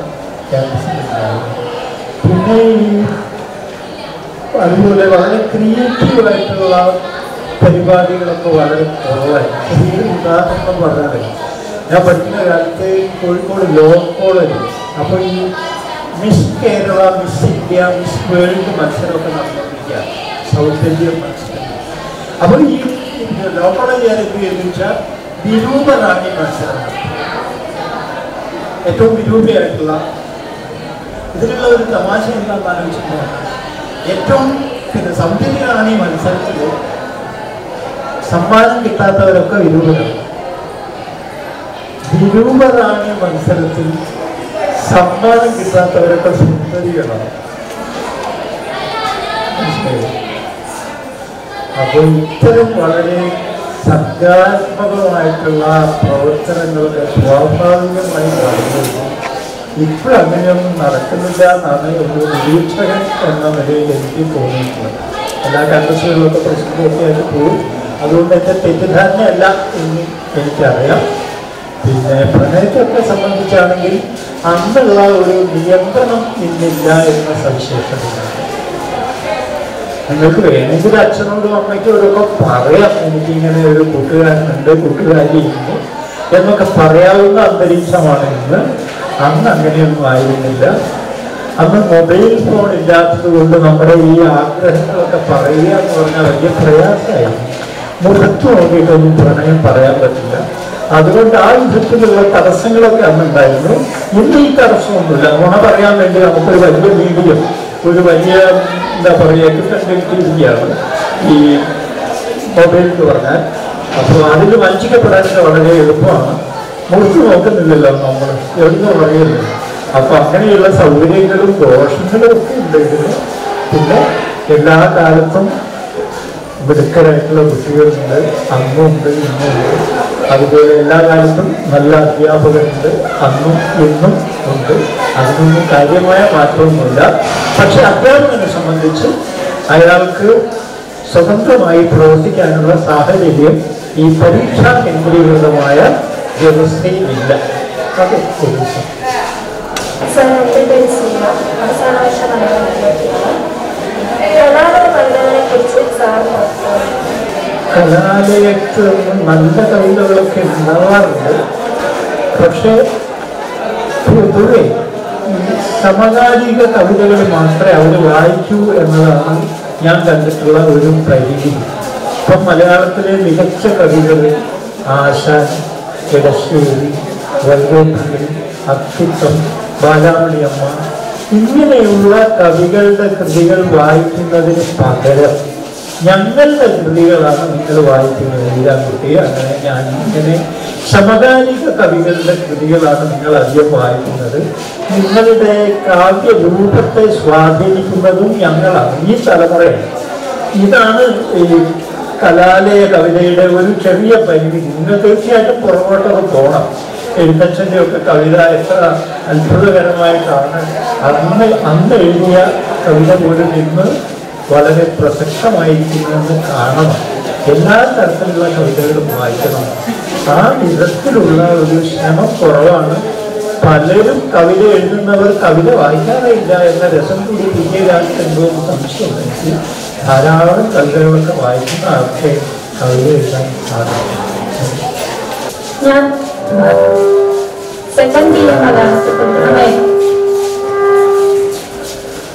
സ്ത്രീ അത്രമേൽ അദൃശ്യാവുന്നത് കൊണ്ടാണ് സ്ത്രീ അത്രമേൽ ദൃശ്യമാവാൻ ശ്രമിക്കുന്നത് എന്ന് സാർ സ്ത്രീ ഇല്ലാത്ത മരുഭൂമിയിൽ അഭിപ്രായപ്പെടുന്നുണ്ട്. അങ്ങനെ അഭിപ്രായപ്പെടാനുള്ള കാരണം? അങ്ങനെ അഭിപ്രായപ്പെടാനുള്ള കാരണം എന്റെ ചുറ്റുപാട് തന്നെയാണ് ഞാൻ കാണുന്നത് തന്നെയാണ്. എന്റെ വീട്ടിലും അടുത്ത വീട്ടിലും ലോകത്തിൽ എല്ലായിടത്തും ഇത് തന്നെയാണ് വസ്തു. ഒരു ദൃശ്യതയ്ക്ക് വേണ്ടിയിട്ടുള്ള ഒരു വെമ്പൽ. ദൃശ്യത നിരാകരിക്കപ്പെടുന്നു. ഞാൻ പ്രസംഗത്തിൽ പറഞ്ഞില്ലേ നമ്മുടെ ഈ എന്താണ് കിച്ചൺ എന്തെന്ന് ഗ്രേറ്റ് ഇന്ത്യൻ കിച്ചണിലെയൊക്കെ ആ കഥാപാത്രത്തെ കുറിച്ച് പറഞ്ഞാൽ ഒരു പക്ഷേ എല്ലാ കഥാപാത്രങ്ങളും അങ്ങനെ തന്നെയാണ്. നിങ്ങൾക്ക് പുതിയ കാലത്ത് ഒരുപാട് സ്വാതന്ത്ര്യമൊക്കെ കിട്ടുന്നു എന്ന് വിചാരിച്ചാൽ പോലും ഒരു ആറ് മണിക്ക് ശേഷമോ ഏഴ് മണിക്ക് ശേഷമോ നിങ്ങൾ നിങ്ങളുടെ ശരീരം മാത്രമായി മാറും. പുരുഷനാണെങ്കിൽ രാപ്പകലുകളില്ലാതെ അയാൾ എന്തെല്ലാമാണോ അതൊക്കെ ആയിരിക്കാനുള്ള സ്വാതന്ത്ര്യം. നിങ്ങൾ എന്തെല്ലാമോ ആണ് പക്ഷെ അതൊന്നും ആയിരിക്കാനുള്ള സാധ്യതയില്ല. ആ എന്തെല്ലാമോ ആയ നിങ്ങൾക്ക് നിശ്ചിത സമയത്ത് മാത്രമേ വിശദീകരിക്കൂ അതൊക്കെയാണ് അതിന്റെ ഒരു പ്രശ്നം എന്റെ പേര് അശ്വതി സെക്കൻഡ് ബി എ മലയാളാണ് ഈ ഒരു കാലഘട്ടത്തിലെ പുസ്തക വായനയേക്കാൾ കൂടുതൽ ആളുകൾ കർഫ്യൂ വായനയിലേക്ക് ചുരുങ്ങുകയാണ്. അപ്പൊ അത് സാഹിത്യത്തിനും ഭാഷയ്ക്കും പറ്റി പ്രശ്നങ്ങൾ? ഞാനിപ്പോൾ അധികം വായിക്കുന്നത് ഈ കിൻഡലിലാണ് വായിച്ചുകൊണ്ടിരിക്കുന്നത് ഈ തിയേറ്ററിലാണ് വായിച്ചുകൊണ്ടിരിക്കുന്നത് അതെനിക്ക് സൗകര്യമായിട്ടാണ് തോന്നുന്നത്. എന്താണെന്ന് പറഞ്ഞാൽ നമ്മൾ ഈ പുസ്തകമൊക്കെ മടക്കി വെക്കണം പേജൊക്കെ മടക്കി വെക്കണം അങ്ങനെയുള്ളത് എവിടെ വെച്ച് വിട്ടുപോയാലും ശരി ഒന്നും ഒന്ന് അമർത്തിയാൽ മതി നമുക്ക് ആ പേജിൽ എത്താൻ സാധിക്കും. പിന്നെ മാത്രമല്ല ഞാനൊക്കെ പണ്ട് കഷ്ടപ്പെട്ടിട്ടുണ്ട് ട്രെയിനിലൊക്കെ യാത്രയ്ക്ക് പോകുമ്പോൾ ഒരു കെട്ട് പുസ്തകമായിട്ടാണ് പോകുക. എനിക്ക് വായിക്കാൻ പറ്റാൻ പറ്റുകയില്ല ഒരു കെട്ട് പുസ്തകം ഇപ്പോഴും എനിക്ക് സുഖമാണ് ഒരു ചെറിയ സാധനമാണ് എനിക്ക് അത് കൈ വലിയ ഭാരവുമില്ല ഒരു ലൈബ്രറി കീശയിൽ കൊള്ളുക എന്ന് പറയുന്ന അത്ഭുതം സാങ്കേതികമായി സാധിച്ച ഒരു കാലത്താണ് നമ്മൾ. അതുകൊണ്ട് ടെക്നോളജിയുടെ സഹായം നമ്മൾ സ്വീകരിക്കുക വേണ്ടത് അതിനെ സംശയിക്കുകയേ വേണ്ട. കൂടുതൽ വായിക്കാനുള്ള അവസരമാണ് നമുക്ക് കിട്ടുന്നത്.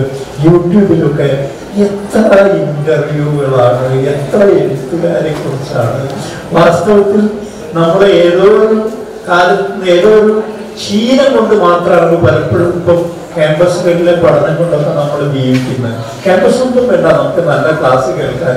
ഷേക്സ്പിയറെ കുറിച്ച് ലോകത്തിലെ ഏറ്റവും മികച്ച ക്ലാസ് കിട്ടാൻ ഒന്ന് യൂട്യൂബ് വെച്ചാൽ മതി അല്ലേ ഇങ്ങനെ ഒരു കാലം ഉണ്ടായിട്ടുണ്ടെങ്കിൽ ഇത്ര മാത്രം വിഭവ സംബന്ധമായ ജ്ഞാന സംബന്ധമായി ഇത്രയും സുലഭമായി അവസരങ്ങളുള്ള ഒരു കാലം ഉണ്ടായിട്ടില്ല.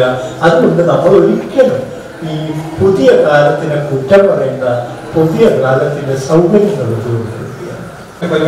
തിരക്കുള്ള ജീവിതമായിരുന്നു ഈ കൊറോണ കാലം ഉണ്ടാക്കിയ ഒരു ഒറ്റപ്പെടൽ സാർ എങ്ങനെയാണ് അതിജീവിച്ചത്? കൊറോണ കാലത്ത് ഉണ്ടായിട്ടുള്ള ഈ ഒറ്റപ്പെടൽ വായിച്ചുകൊണ്ട് തന്നെയാണ് ഞാൻ വാസ്തവത്തിൽ ഈ ഒരുപാട് പരിപാടികളൊക്കെ ഉണ്ടായിരുന്നപ്പോൾ വേണ്ടത്ര വായിക്കാനൊന്നും എനിക്ക് പറ്റാതായി തുടങ്ങിയിരുന്നു അവസാനം. അപ്പോൾ എല്ലാവരെയും ദോഷമായിട്ട് ബാധിച്ചത് എന്നെ അനുഗ്രഹമായിട്ട് ബാധിച്ചു. എനിക്ക് ഇഷ്ടംപോലെ സമയമായി വായിക്കാൻ. ഞാൻ ഒരു നോവൽ എഴുതി ഈ ഒരു സന്ദർഭത്തിൽ കവിതകളും ലേഖനങ്ങളൊക്കെ ധാരാളമായിട്ട് എഴുതി പിന്നെ വെബിനാറുകളിലൊക്കെ പങ്കെടുത്ത അത്യാവശ്യം പ്രസംഗിക്കാതിരിക്കുമ്പോഴുള്ള ഒരു ചൊറിച്ചിലൊക്കെ ഇല്ലേ അതൊക്കെ മാറ്റി.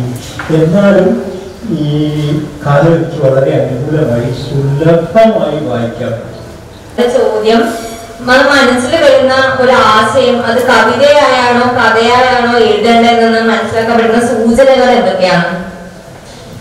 അത് കവിത എഴുതുന്ന ഒരാളെ സംബന്ധിച്ചിടത്തോളം അത് കവിതയായിട്ടാണ് ഈ ആശയം നമ്മുടെ മനസ്സിൽ പ്രതിച്ചത് കഥ എഴുതുന്ന ആളെ സംബന്ധിച്ചിടത്തോളം അതിന്റെ ഒരു കഥ അംശമായിട്ടാണ് ഒരു കഥാംശമായിട്ടാണ് നമ്മുടെ മനസ്സിലേക്ക് വരിക. പിന്നെ അതിനെ വികസിപ്പിച്ചാൽ മതി. അത് ഈ സംശയമുള്ളത് നമ്മൾ കഥയോ കവിതയോ തിരഞ്ഞെടുക്കുന്ന എന്നുള്ള ഒരു പ്രത്യേക ഘട്ടത്തിലാണ് ആ ഘട്ടം തരണം ചെയ്ത് കഴിഞ്ഞാൽ നിങ്ങൾ ധാരാളമായിട്ട് കവിതകൾ വായിക്കുമ്പോഴാണ് നിങ്ങൾക്ക് തൃപ്തിയുള്ളത് എങ്കിൽ നിങ്ങൾ കവിയാണ്. കഥ വായിക്കുമ്പോഴാണ് നിങ്ങൾ തൃപ്തരായി തീരുന്നത് എങ്കിൽ നിങ്ങൾ കഥാകാരിയാണ്. അങ്ങനെ കഥാകാരിയായ നിങ്ങൾക്ക് കഥാംശമായിട്ട് കാണാം എല്ലാത്തിനെയും. അതിനെ കഥയായിട്ട് വികസിപ്പിക്കുകയും ചെയ്യും അപ്പൊ ഈ ശീലം എവിടെ വെച്ചാൽ നടത്തേണ്ടത് നല്ല കഥകൾ ധാരാളം വായിച്ചുകൊണ്ടിരിക്കുക അങ്ങനെ ഒരു അദൃശ്യമായിട്ടുള്ള നമ്മുടേത് മാത്രമായിട്ടുള്ള വളരെ സ്വതന്ത്രമായ ഒരു ക്ലാസ് ഉണ്ട് നമുക്ക് അവിടെ വെച്ച് നമ്മൾ കഥയെക്കുറിച്ച് കൂടുതൽ മനസ്സിലാക്കിയിട്ടുണ്ട്. കഥാംശവും കാവ്യാംശവും രണ്ടാണ് വരിയായിട്ടാണ് ഒരു കവിത പ്രത്യക്ഷപ്പെടുക. ഒരു കഥയുടെ ഏതോ ഒരു അംശമായിട്ടാണ് ഒരു കഥ അപ്പം നിങ്ങൾക്ക് കഥ വായിക്കാനാണ് അധികം ഇഷ്ടമെങ്കിൽ നിങ്ങൾ കഥ കവിത വായിക്കാനാണ് അധികം ഇഷ്ടം. എന്തുകൊണ്ടാണ്? നമ്മുടെ ആദ്യത്തെ ആവിഷ്കാരം നമ്മൾ എഴുതുന്നതല്ല നമ്മൾ വായിക്കുന്നതാണ്.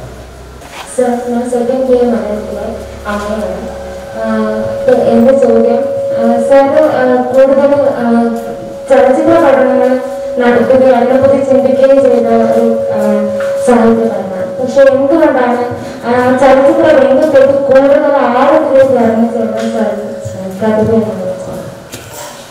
ആഴം കൊണ്ട് എന്താ ഉദ്ദേശിക്കുന്നത് എനിക്ക് മനസ്സിലായില്ല. ഒരു ചലച്ചിത്ര പ്രേക്ഷകന്റെ ആത്മകഥ എന്ന് പറഞ്ഞ ഒരു പുസ്തകം എന്റെ വായിട്ടുണ്ട് ഇത്രമാത്രമുള്ള എന്റെ നോവൽ സിനിമയായിട്ടും ഉണ്ട്. പിന്നെ പക്ഷെ ആ സിനിമയായിട്ട് ബന്ധപ്പെട്ട് ഞാൻ പ്രവർത്തിച്ചിട്ടൊന്നുമില്ല. ഞാൻ വെറും കാഴ്ചക്കാരൻ മാത്രമായിരുന്നു. കാരണം എന്താന്ന് പറഞ്ഞാൽ ഞാൻ എഴുത്തുകാരനാണ്. ചലച്ചിത്ര പ്രവർത്തകനല്ല പക്ഷെ ചലച്ചിത്രങ്ങൾ ധാരാളമായിട്ട് കാണും വൈദേശികവും കേരളീയവും ഒക്കെ അതിന്റെ ഒരു പ്രതിഫലനമായിട്ടാണ് ഒരു ചലച്ചിത്ര പ്രേക്ഷകന്റെ ആത്മകഥ എന്ന പുസ്തകം എഴുതിയിട്ടുള്ളത്. അപ്പം അതിൽ പുസ്തകങ്ങൾ ഓട്ടോബയോഗ്രാഫിയൊക്കെ ഫിലിം വ്യൂവർ എന്ന് പറയുന്ന മാതിരി പുസ്തകം മലയാളത്തിൽ ഏതായാലും ഇതുവരെ വന്നിട്ടില്ല. അത് ആളുകൾക്ക് വളരെ ഇഷ്ടമായി എന്നൊക്കെ പ്രതികരണം കേൾക്കാം. എഴുത്തിലേക്കും സാഹിത്യത്തിലേക്കും വരാനുണ്ടായ സാഹചര്യങ്ങൾ. ഒന്നാമത് ഞാൻ ഒരു സ്പോർട്സ് ഒക്കെ വളരെ ഇഷ്ടമാണ് ഫുട്ബോൾ ക്രിക്കറ്റ് ഒക്കെ വളരെ കണ്ടുകൊണ്ടിരിക്കുന്നതാണ് പക്ഷെ എന്നാലും അതിന് വേണ്ടതായ ഒരു ശാരീരികമായ യോഗ്യതയുള്ള ഒരാളല്ല. എന്റെ പ്ലേ എന്ന് പറയുന്നത് ഭാഷയിലായിരുന്നു അതുകൊണ്ട് ആളുകളോട് ബലം പറയുകയൊക്കെ ചെയ്യുന്നത് ഞാൻ ചെറുപ്പം രസം. അങ്ങനെ ഈ പ്ലേഫുൾനെസ് നിലനിർത്താൻ എനിക്ക് എഴുത്തിലേക്ക് തീയേണ്ടി വന്നു എന്നതാണ് തോന്നുന്നു രണ്ടാമത്തേത് ഞാൻ വായിച്ച കൃതികളൊക്കെ എന്നെ ഇങ്ങനെ പ്രചോദിപ്പിച്ചു കൊണ്ടിരുന്നു. അതുപോലെ എഴുതണം അതെന്നെ വളരെ രസിപ്പിച്ചു. ആ രസിച്ച എന്നെ പോലെയുള്ള ആളുകളെ വേറെ സൃഷ്ടിക്കാൻ വേണ്ടി ഞാൻ എഴുതിക്കൊണ്ടിരിക്കണം എന്ന് ഞാൻ മനസ്സിലാക്കി. അതാണ് രണ്ടാമത്തത്. മൂന്നാമത്തേത് വളരെ ചാലഞ്ചിങ് ആയിട്ടുള്ള ഒരു പ്രവൃത്തിയാണ് എഴുത്ത് നന്നാവില്ല നന്നായാൽ ആളുകൾ പ്രശംസിക്കില്ല. അതൊക്കെ അതൊക്കെ വാസ്തവത്തിൽ നല്ലതാണ് ഒരാൾക്ക് മുന്നോട്ട് പോയിക്കൊണ്ടിരിക്കാൻ. ഇപ്പോൾ കഴിഞ്ഞ കൊല്ലം എഴുതിയതിനേക്കാൾ എനിക്കിപ്പോൾ അറുപത്തൊമ്പത് എഴുപത് വയസ്സായി. അറുപത്തൊമ്പത് വയസ്സിനേക്കാളും എത്രയോ സജീവമാണ് ഞാൻ ഈ പ്രായത്തിൽ. അടുത്ത കുറച്ചും കൂടി സജീവമാകുമെന്നാണ് എന്റെ പ്രതീക്ഷ. അപ്പോൾ കൂടുതൽ വായിക്കുന്നു കൂടുതൽ എഴുതുന്നു ഇതൊക്കെ ചെയ്യുന്നു. എനിക്ക് ഒരിക്കലും ഇതിനോടുള്ള ഒരു ഒരു ഇഷ്ടം കുറയുന്നേയില്ല അപ്പോൾ ബാല്യം തൊട്ട് വളർന്നു വന്ന ഒരു വലിയ ഇഷ്ടം എന്നെ എഴുതാൻ നിരന്തരമായി പ്രേരിപ്പിച്ചുകൊണ്ടിരിക്കുന്നു എന്നതാണ്. ഞാൻ സ്നേഹ ഫൈനൽ ഉത്തരാധുനിക കാലഘട്ടത്തിലെ കവികൾ ആരൊക്കെയാണ് സാർ പ്രതീക്ഷിക്കുന്നത് ഉത്തരാധുനികതയുടെ കാലത്തെ കവികൾ. ഉത്തരാധുനിക കാലഘട്ടത്തിലെ കവികളിൽ ആരൊക്കെ ആരെയാണ് സാർ പ്രതീക്ഷിക്കുന്നത്? ഞാനൊരു ആ കൂട്ടത്തിലുള്ളൊരു കവിയായതുകൊണ്ട് തന്നെ എന്റെ കൂട്ടത്തിലുള്ള കവികളിൽ ഇന്നാളാണ് നല്ലത് ഇന്നാളാണ് മോശം എന്നൊക്കെ പറയുന്നത് ഒരു മര്യാദയില്ലാത്ത കാര്യമാണ്. നിങ്ങളുടെ ക്ലാസ്സിലെ കുട്ടികളിൽ ആരാ നല്ലത് എന്നൊക്കെ ചോദിച്ചാൽ. എന്റെ പേര് ബബിത. English department അധ്യാപികയാണ്. അപ്പം മലയാളം ഞാൻ പഠിച്ചു തുടങ്ങിയത് ഏറ്റവും ലാസ്റ്റ് ഐ മീൻ എന്റെ പതിനെട്ട് പതിനെട്ട് വയസ്സിലാണ്. അപ്പം മലയാളത്തിലെ ആദ്യമായിട്ട് മലയാളം പഠിക്കുന്ന വിദ്യാർത്ഥികൾക്ക് സർ ഇൻസ്പിറേഷൻ എന്താ ചെയ്യുന്നത്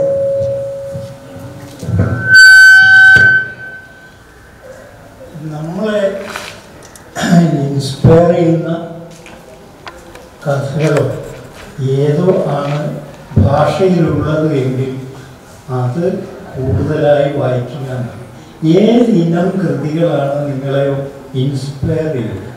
അത് വാസ്തവത്തിൽ എല്ലാവരോടും പറയാനുള്ളതാണ് അവനവനെ പ്രചോദിപ്പിക്കുന്ന കൃതികൾ മാത്രമേ വായിക്കൂ അപ്പോൾ അതിലൊരു കുറ്റബോധവും വേണ്ട അതെന്തായാലും ശരി. അതുകൊണ്ട് നിങ്ങൾക്ക് കഥ വായിക്കാനാണ് അല്ല ഡിറ്റക്റ്റീവ് നോവൽ വായിക്കാനാണ് ഇഷ്ടം. വായിക്കും.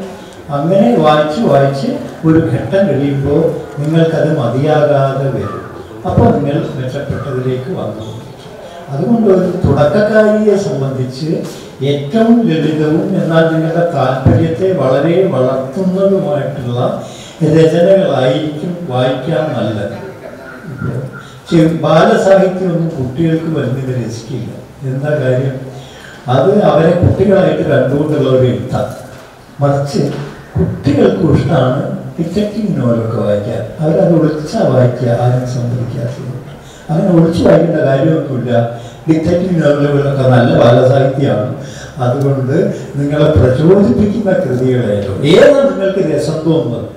ഞാനിപ്പോൾ ഡിറ്റക്റ്റീവ് ചന്ദ്രമോഹൻ എന്ന് പറഞ്ഞ കൃതി എട്ടാം ക്ലാസ്സിൽ ഞാനിങ്ങനെ എന്റെ പാഠപുസ്തകത്തിന്റെ ചട്ട ഇട്ടിട്ട് കൊണ്ടുവന്നിട്ട് ക്ലാസ്സിൽ ഇരുന്നിട്ട് വായിച്ചുകൊണ്ടിരിക്കുകയായിരുന്നു ചെയ്യുക. ആദ്യം എന്നെ ഇഷ്ടപ്പെട്ടിട്ടുള്ള ഒരു കൃതിയാണ് തെക്കിയുണ്ട് ചന്ദ്രമോഹൻ എന്ന് പറയുന്നത്.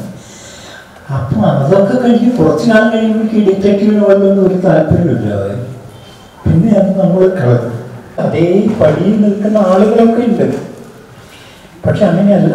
സാധാരണഗതിയിൽ മനുഷ്യൻ ഇങ്ങനെ മുന്നോട്ടാണ് പോയിക്കൊണ്ടിരിക്കുക അങ്ങനെ മുന്നോട്ട് പോകുമ്പോൾ അയാൾ തന്നെ കണ്ടെത്തും. അയാളെ വിഷമിക്കാത്ത ഒന്നും ചെയ്യാതെ. സത്യസന്ധനായിരിക്കുക അവനോട് വേറൊരാൾ വായിച്ചു വേറൊരാൾ പറഞ്ഞു ഇമാതിരി കൃതികളാണത് വേണ്ട.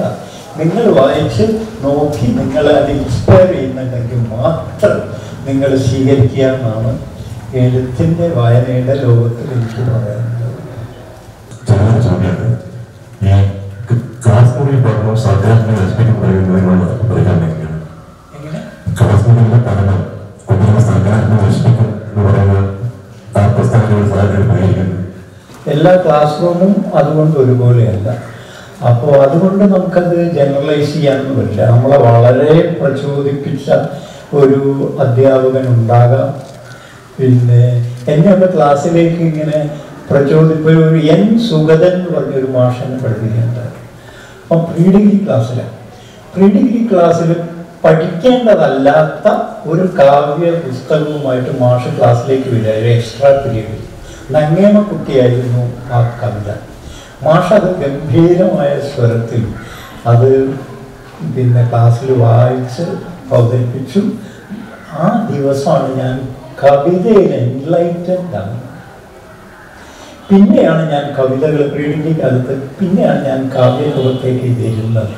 അതുകൊണ്ട് എന്നെ സംബന്ധിച്ച് ഒരു ക്ലാസ് റൂം തടസ്സവുമായിട്ട് മാറിയില്ല മാത്രമല്ല അധ്യാപനം. ഞാൻ മാഷായിട്ട് വളരെ കാലം. അപ്പോൾ അധ്യാപനമാണെങ്കിൽ എന്നെ വളരെ രസിപ്പിച്ച ഒരു മാധ്യമമാണ്.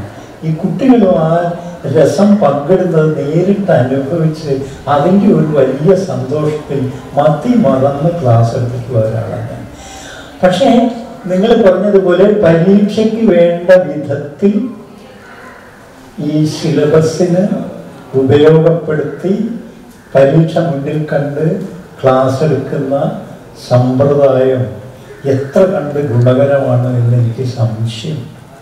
നിങ്ങളുടെ കഴിവുകളെ മനസ്സിലാക്കാനോ വിലയിരുത്താനോ ഒട്ടും പറ്റാത്ത ഒരു സിസ്റ്റമാണ് പരീക്ഷ എന്ന് പറയുന്നത്. ആ ചുങ്കത്ത് ഞാൻ പണ്ട് എഴുതിയിട്ടുള്ള ഒരു വരിയ ആ ചുങ്കത്ത് പരീക്ഷിക്കപ്പെട്ടവരാരും ശരിയായി പരീക്ഷിക്കപ്പെട്ടവരായിരുന്നില്ല. ആ ചുങ്കത്ത് നിന്ന് പരാജയപ്പെട്ട് മടങ്ങിയ ആരും യഥാർത്ഥത്തിൽ പരാജയപ്പെടേണ്ടവരും ആയിരുന്നില്ല. അങ്ങനെയൊക്കെ നിങ്ങൾ പറഞ്ഞതിന് വിഷ പ്രശ്നങ്ങളുണ്ട്. എന്നാൽ പോലും വളരെ പ്രതിഭ ഈ അധ്യാപനം എന്ന് പറയുന്ന തൊഴിലിലൊക്കെ പ്രതിഭാശാലികൾ മാത്രമേ വരാവൂ. അല്ലാത്തവരെ താല്പര്യമുള്ളവരെ വരാവൂ. സ്വയം വളരാൻ നിരന്തരമായി വളരാൻ താല്പര്യമുള്ളവരെ വരാവൂ. അല്ലാത്തവരെയൊക്കെ തടയാൻ വേണ്ട സിസ്റ്റം നമുക്കുണ്ടാകും. അങ്ങനെയാണ് ക്ലാസ് ഒന്നും തടസ്സമായി തീരുകയില്ല. ഇപ്പോൾ വലിയ തത്വചിന്തകന്മാരുടെയൊക്കെ ക്ലാസ് വിറ്റ്കിൻസ്റ്റിന്റെ ക്ലാസ് കുട്ടികളിങ്ങനെ ഏഴ് മണിയായാലും എട്ട് മണിയായാലും പതിനൊന്ന് മണിയായാലും ഒന്നും പോവില്ല. ഇങ്ങനെ ഇരിക്കും അയാളുടെ ക്ലാസ്സിൽ. എന്നിട്ട് അവരെഴുതിയ നോട്ടാണ് അയാൾ വേറെ ഒന്നും എഴുതിയിട്ടില്ല അവരെഴുതിയെടുത്ത നോട്ട് ആരൊക്കെയോ വാങ്ങിക്കൊണ്ടുപോയിട്ടാണ് ഇന്ന് നമ്മൾ അറിയുന്ന വിദ്വൻസി എന്ന് പറയുന്ന തത്വചിന്തകൻ ഉണ്ടായിട്ടുള്ളത് അപാര ക്രിയേറ്റീവ് ഉണ്ടായിട്ടുള്ള അപാരനായ ഒരു ഭയങ്കരനായിട്ടുള്ള ഒരു ഫിലോസഫർ അപ്പൊ ഇങ്ങനെ കുട്ടികളും അധ്യാപകരും ഒക്കെ പരസ്പരം എന്താണ് പ്രചോദിപ്പിക്കുന്ന സന്ദർഭങ്ങളിലൊക്കെ ലോകത്ത് ഒരുപാട് സ്ഥലത്തുണ്ടായിട്ടുണ്ട്. അതല്ലാത്തതുമുണ്ട്. അതുകൊണ്ട് നമുക്ക് സാമാന്യവൽക്കരിക്കാനേ പറ്റില്ലായിരിക്കും ഏറ്റവും ഹൃദയത്തോടെ കൽപ്പറ്റ മാഷിനെ ഈ കലാലയം നെഞ്ചോട് ചേർത്ത് വെക്കും. ഈ സംവാദ പരിപാടിക്ക് ഔപചാരികമായി നന്ദി പറയാൻ മലയാള വിഭാഗം അധ്യാപകൻ ശ്രീ ദിജിത് മാഷ സ്നേഹവും പ്രക്ഷോഭിക്കുന്നു ഏറെ അഭിമാനം തോന്നിയ ഒരു നിമിഷമാണ് രജീഷ് മാഷ് പറഞ്ഞതുപോലെ മലയാളത്തിന്റെ ഒരു ബഹുമുഖ പ്രതിഭ ആണ് നമ്മുടെ മുമ്പിൽ ഇരിക്കുന്നത്.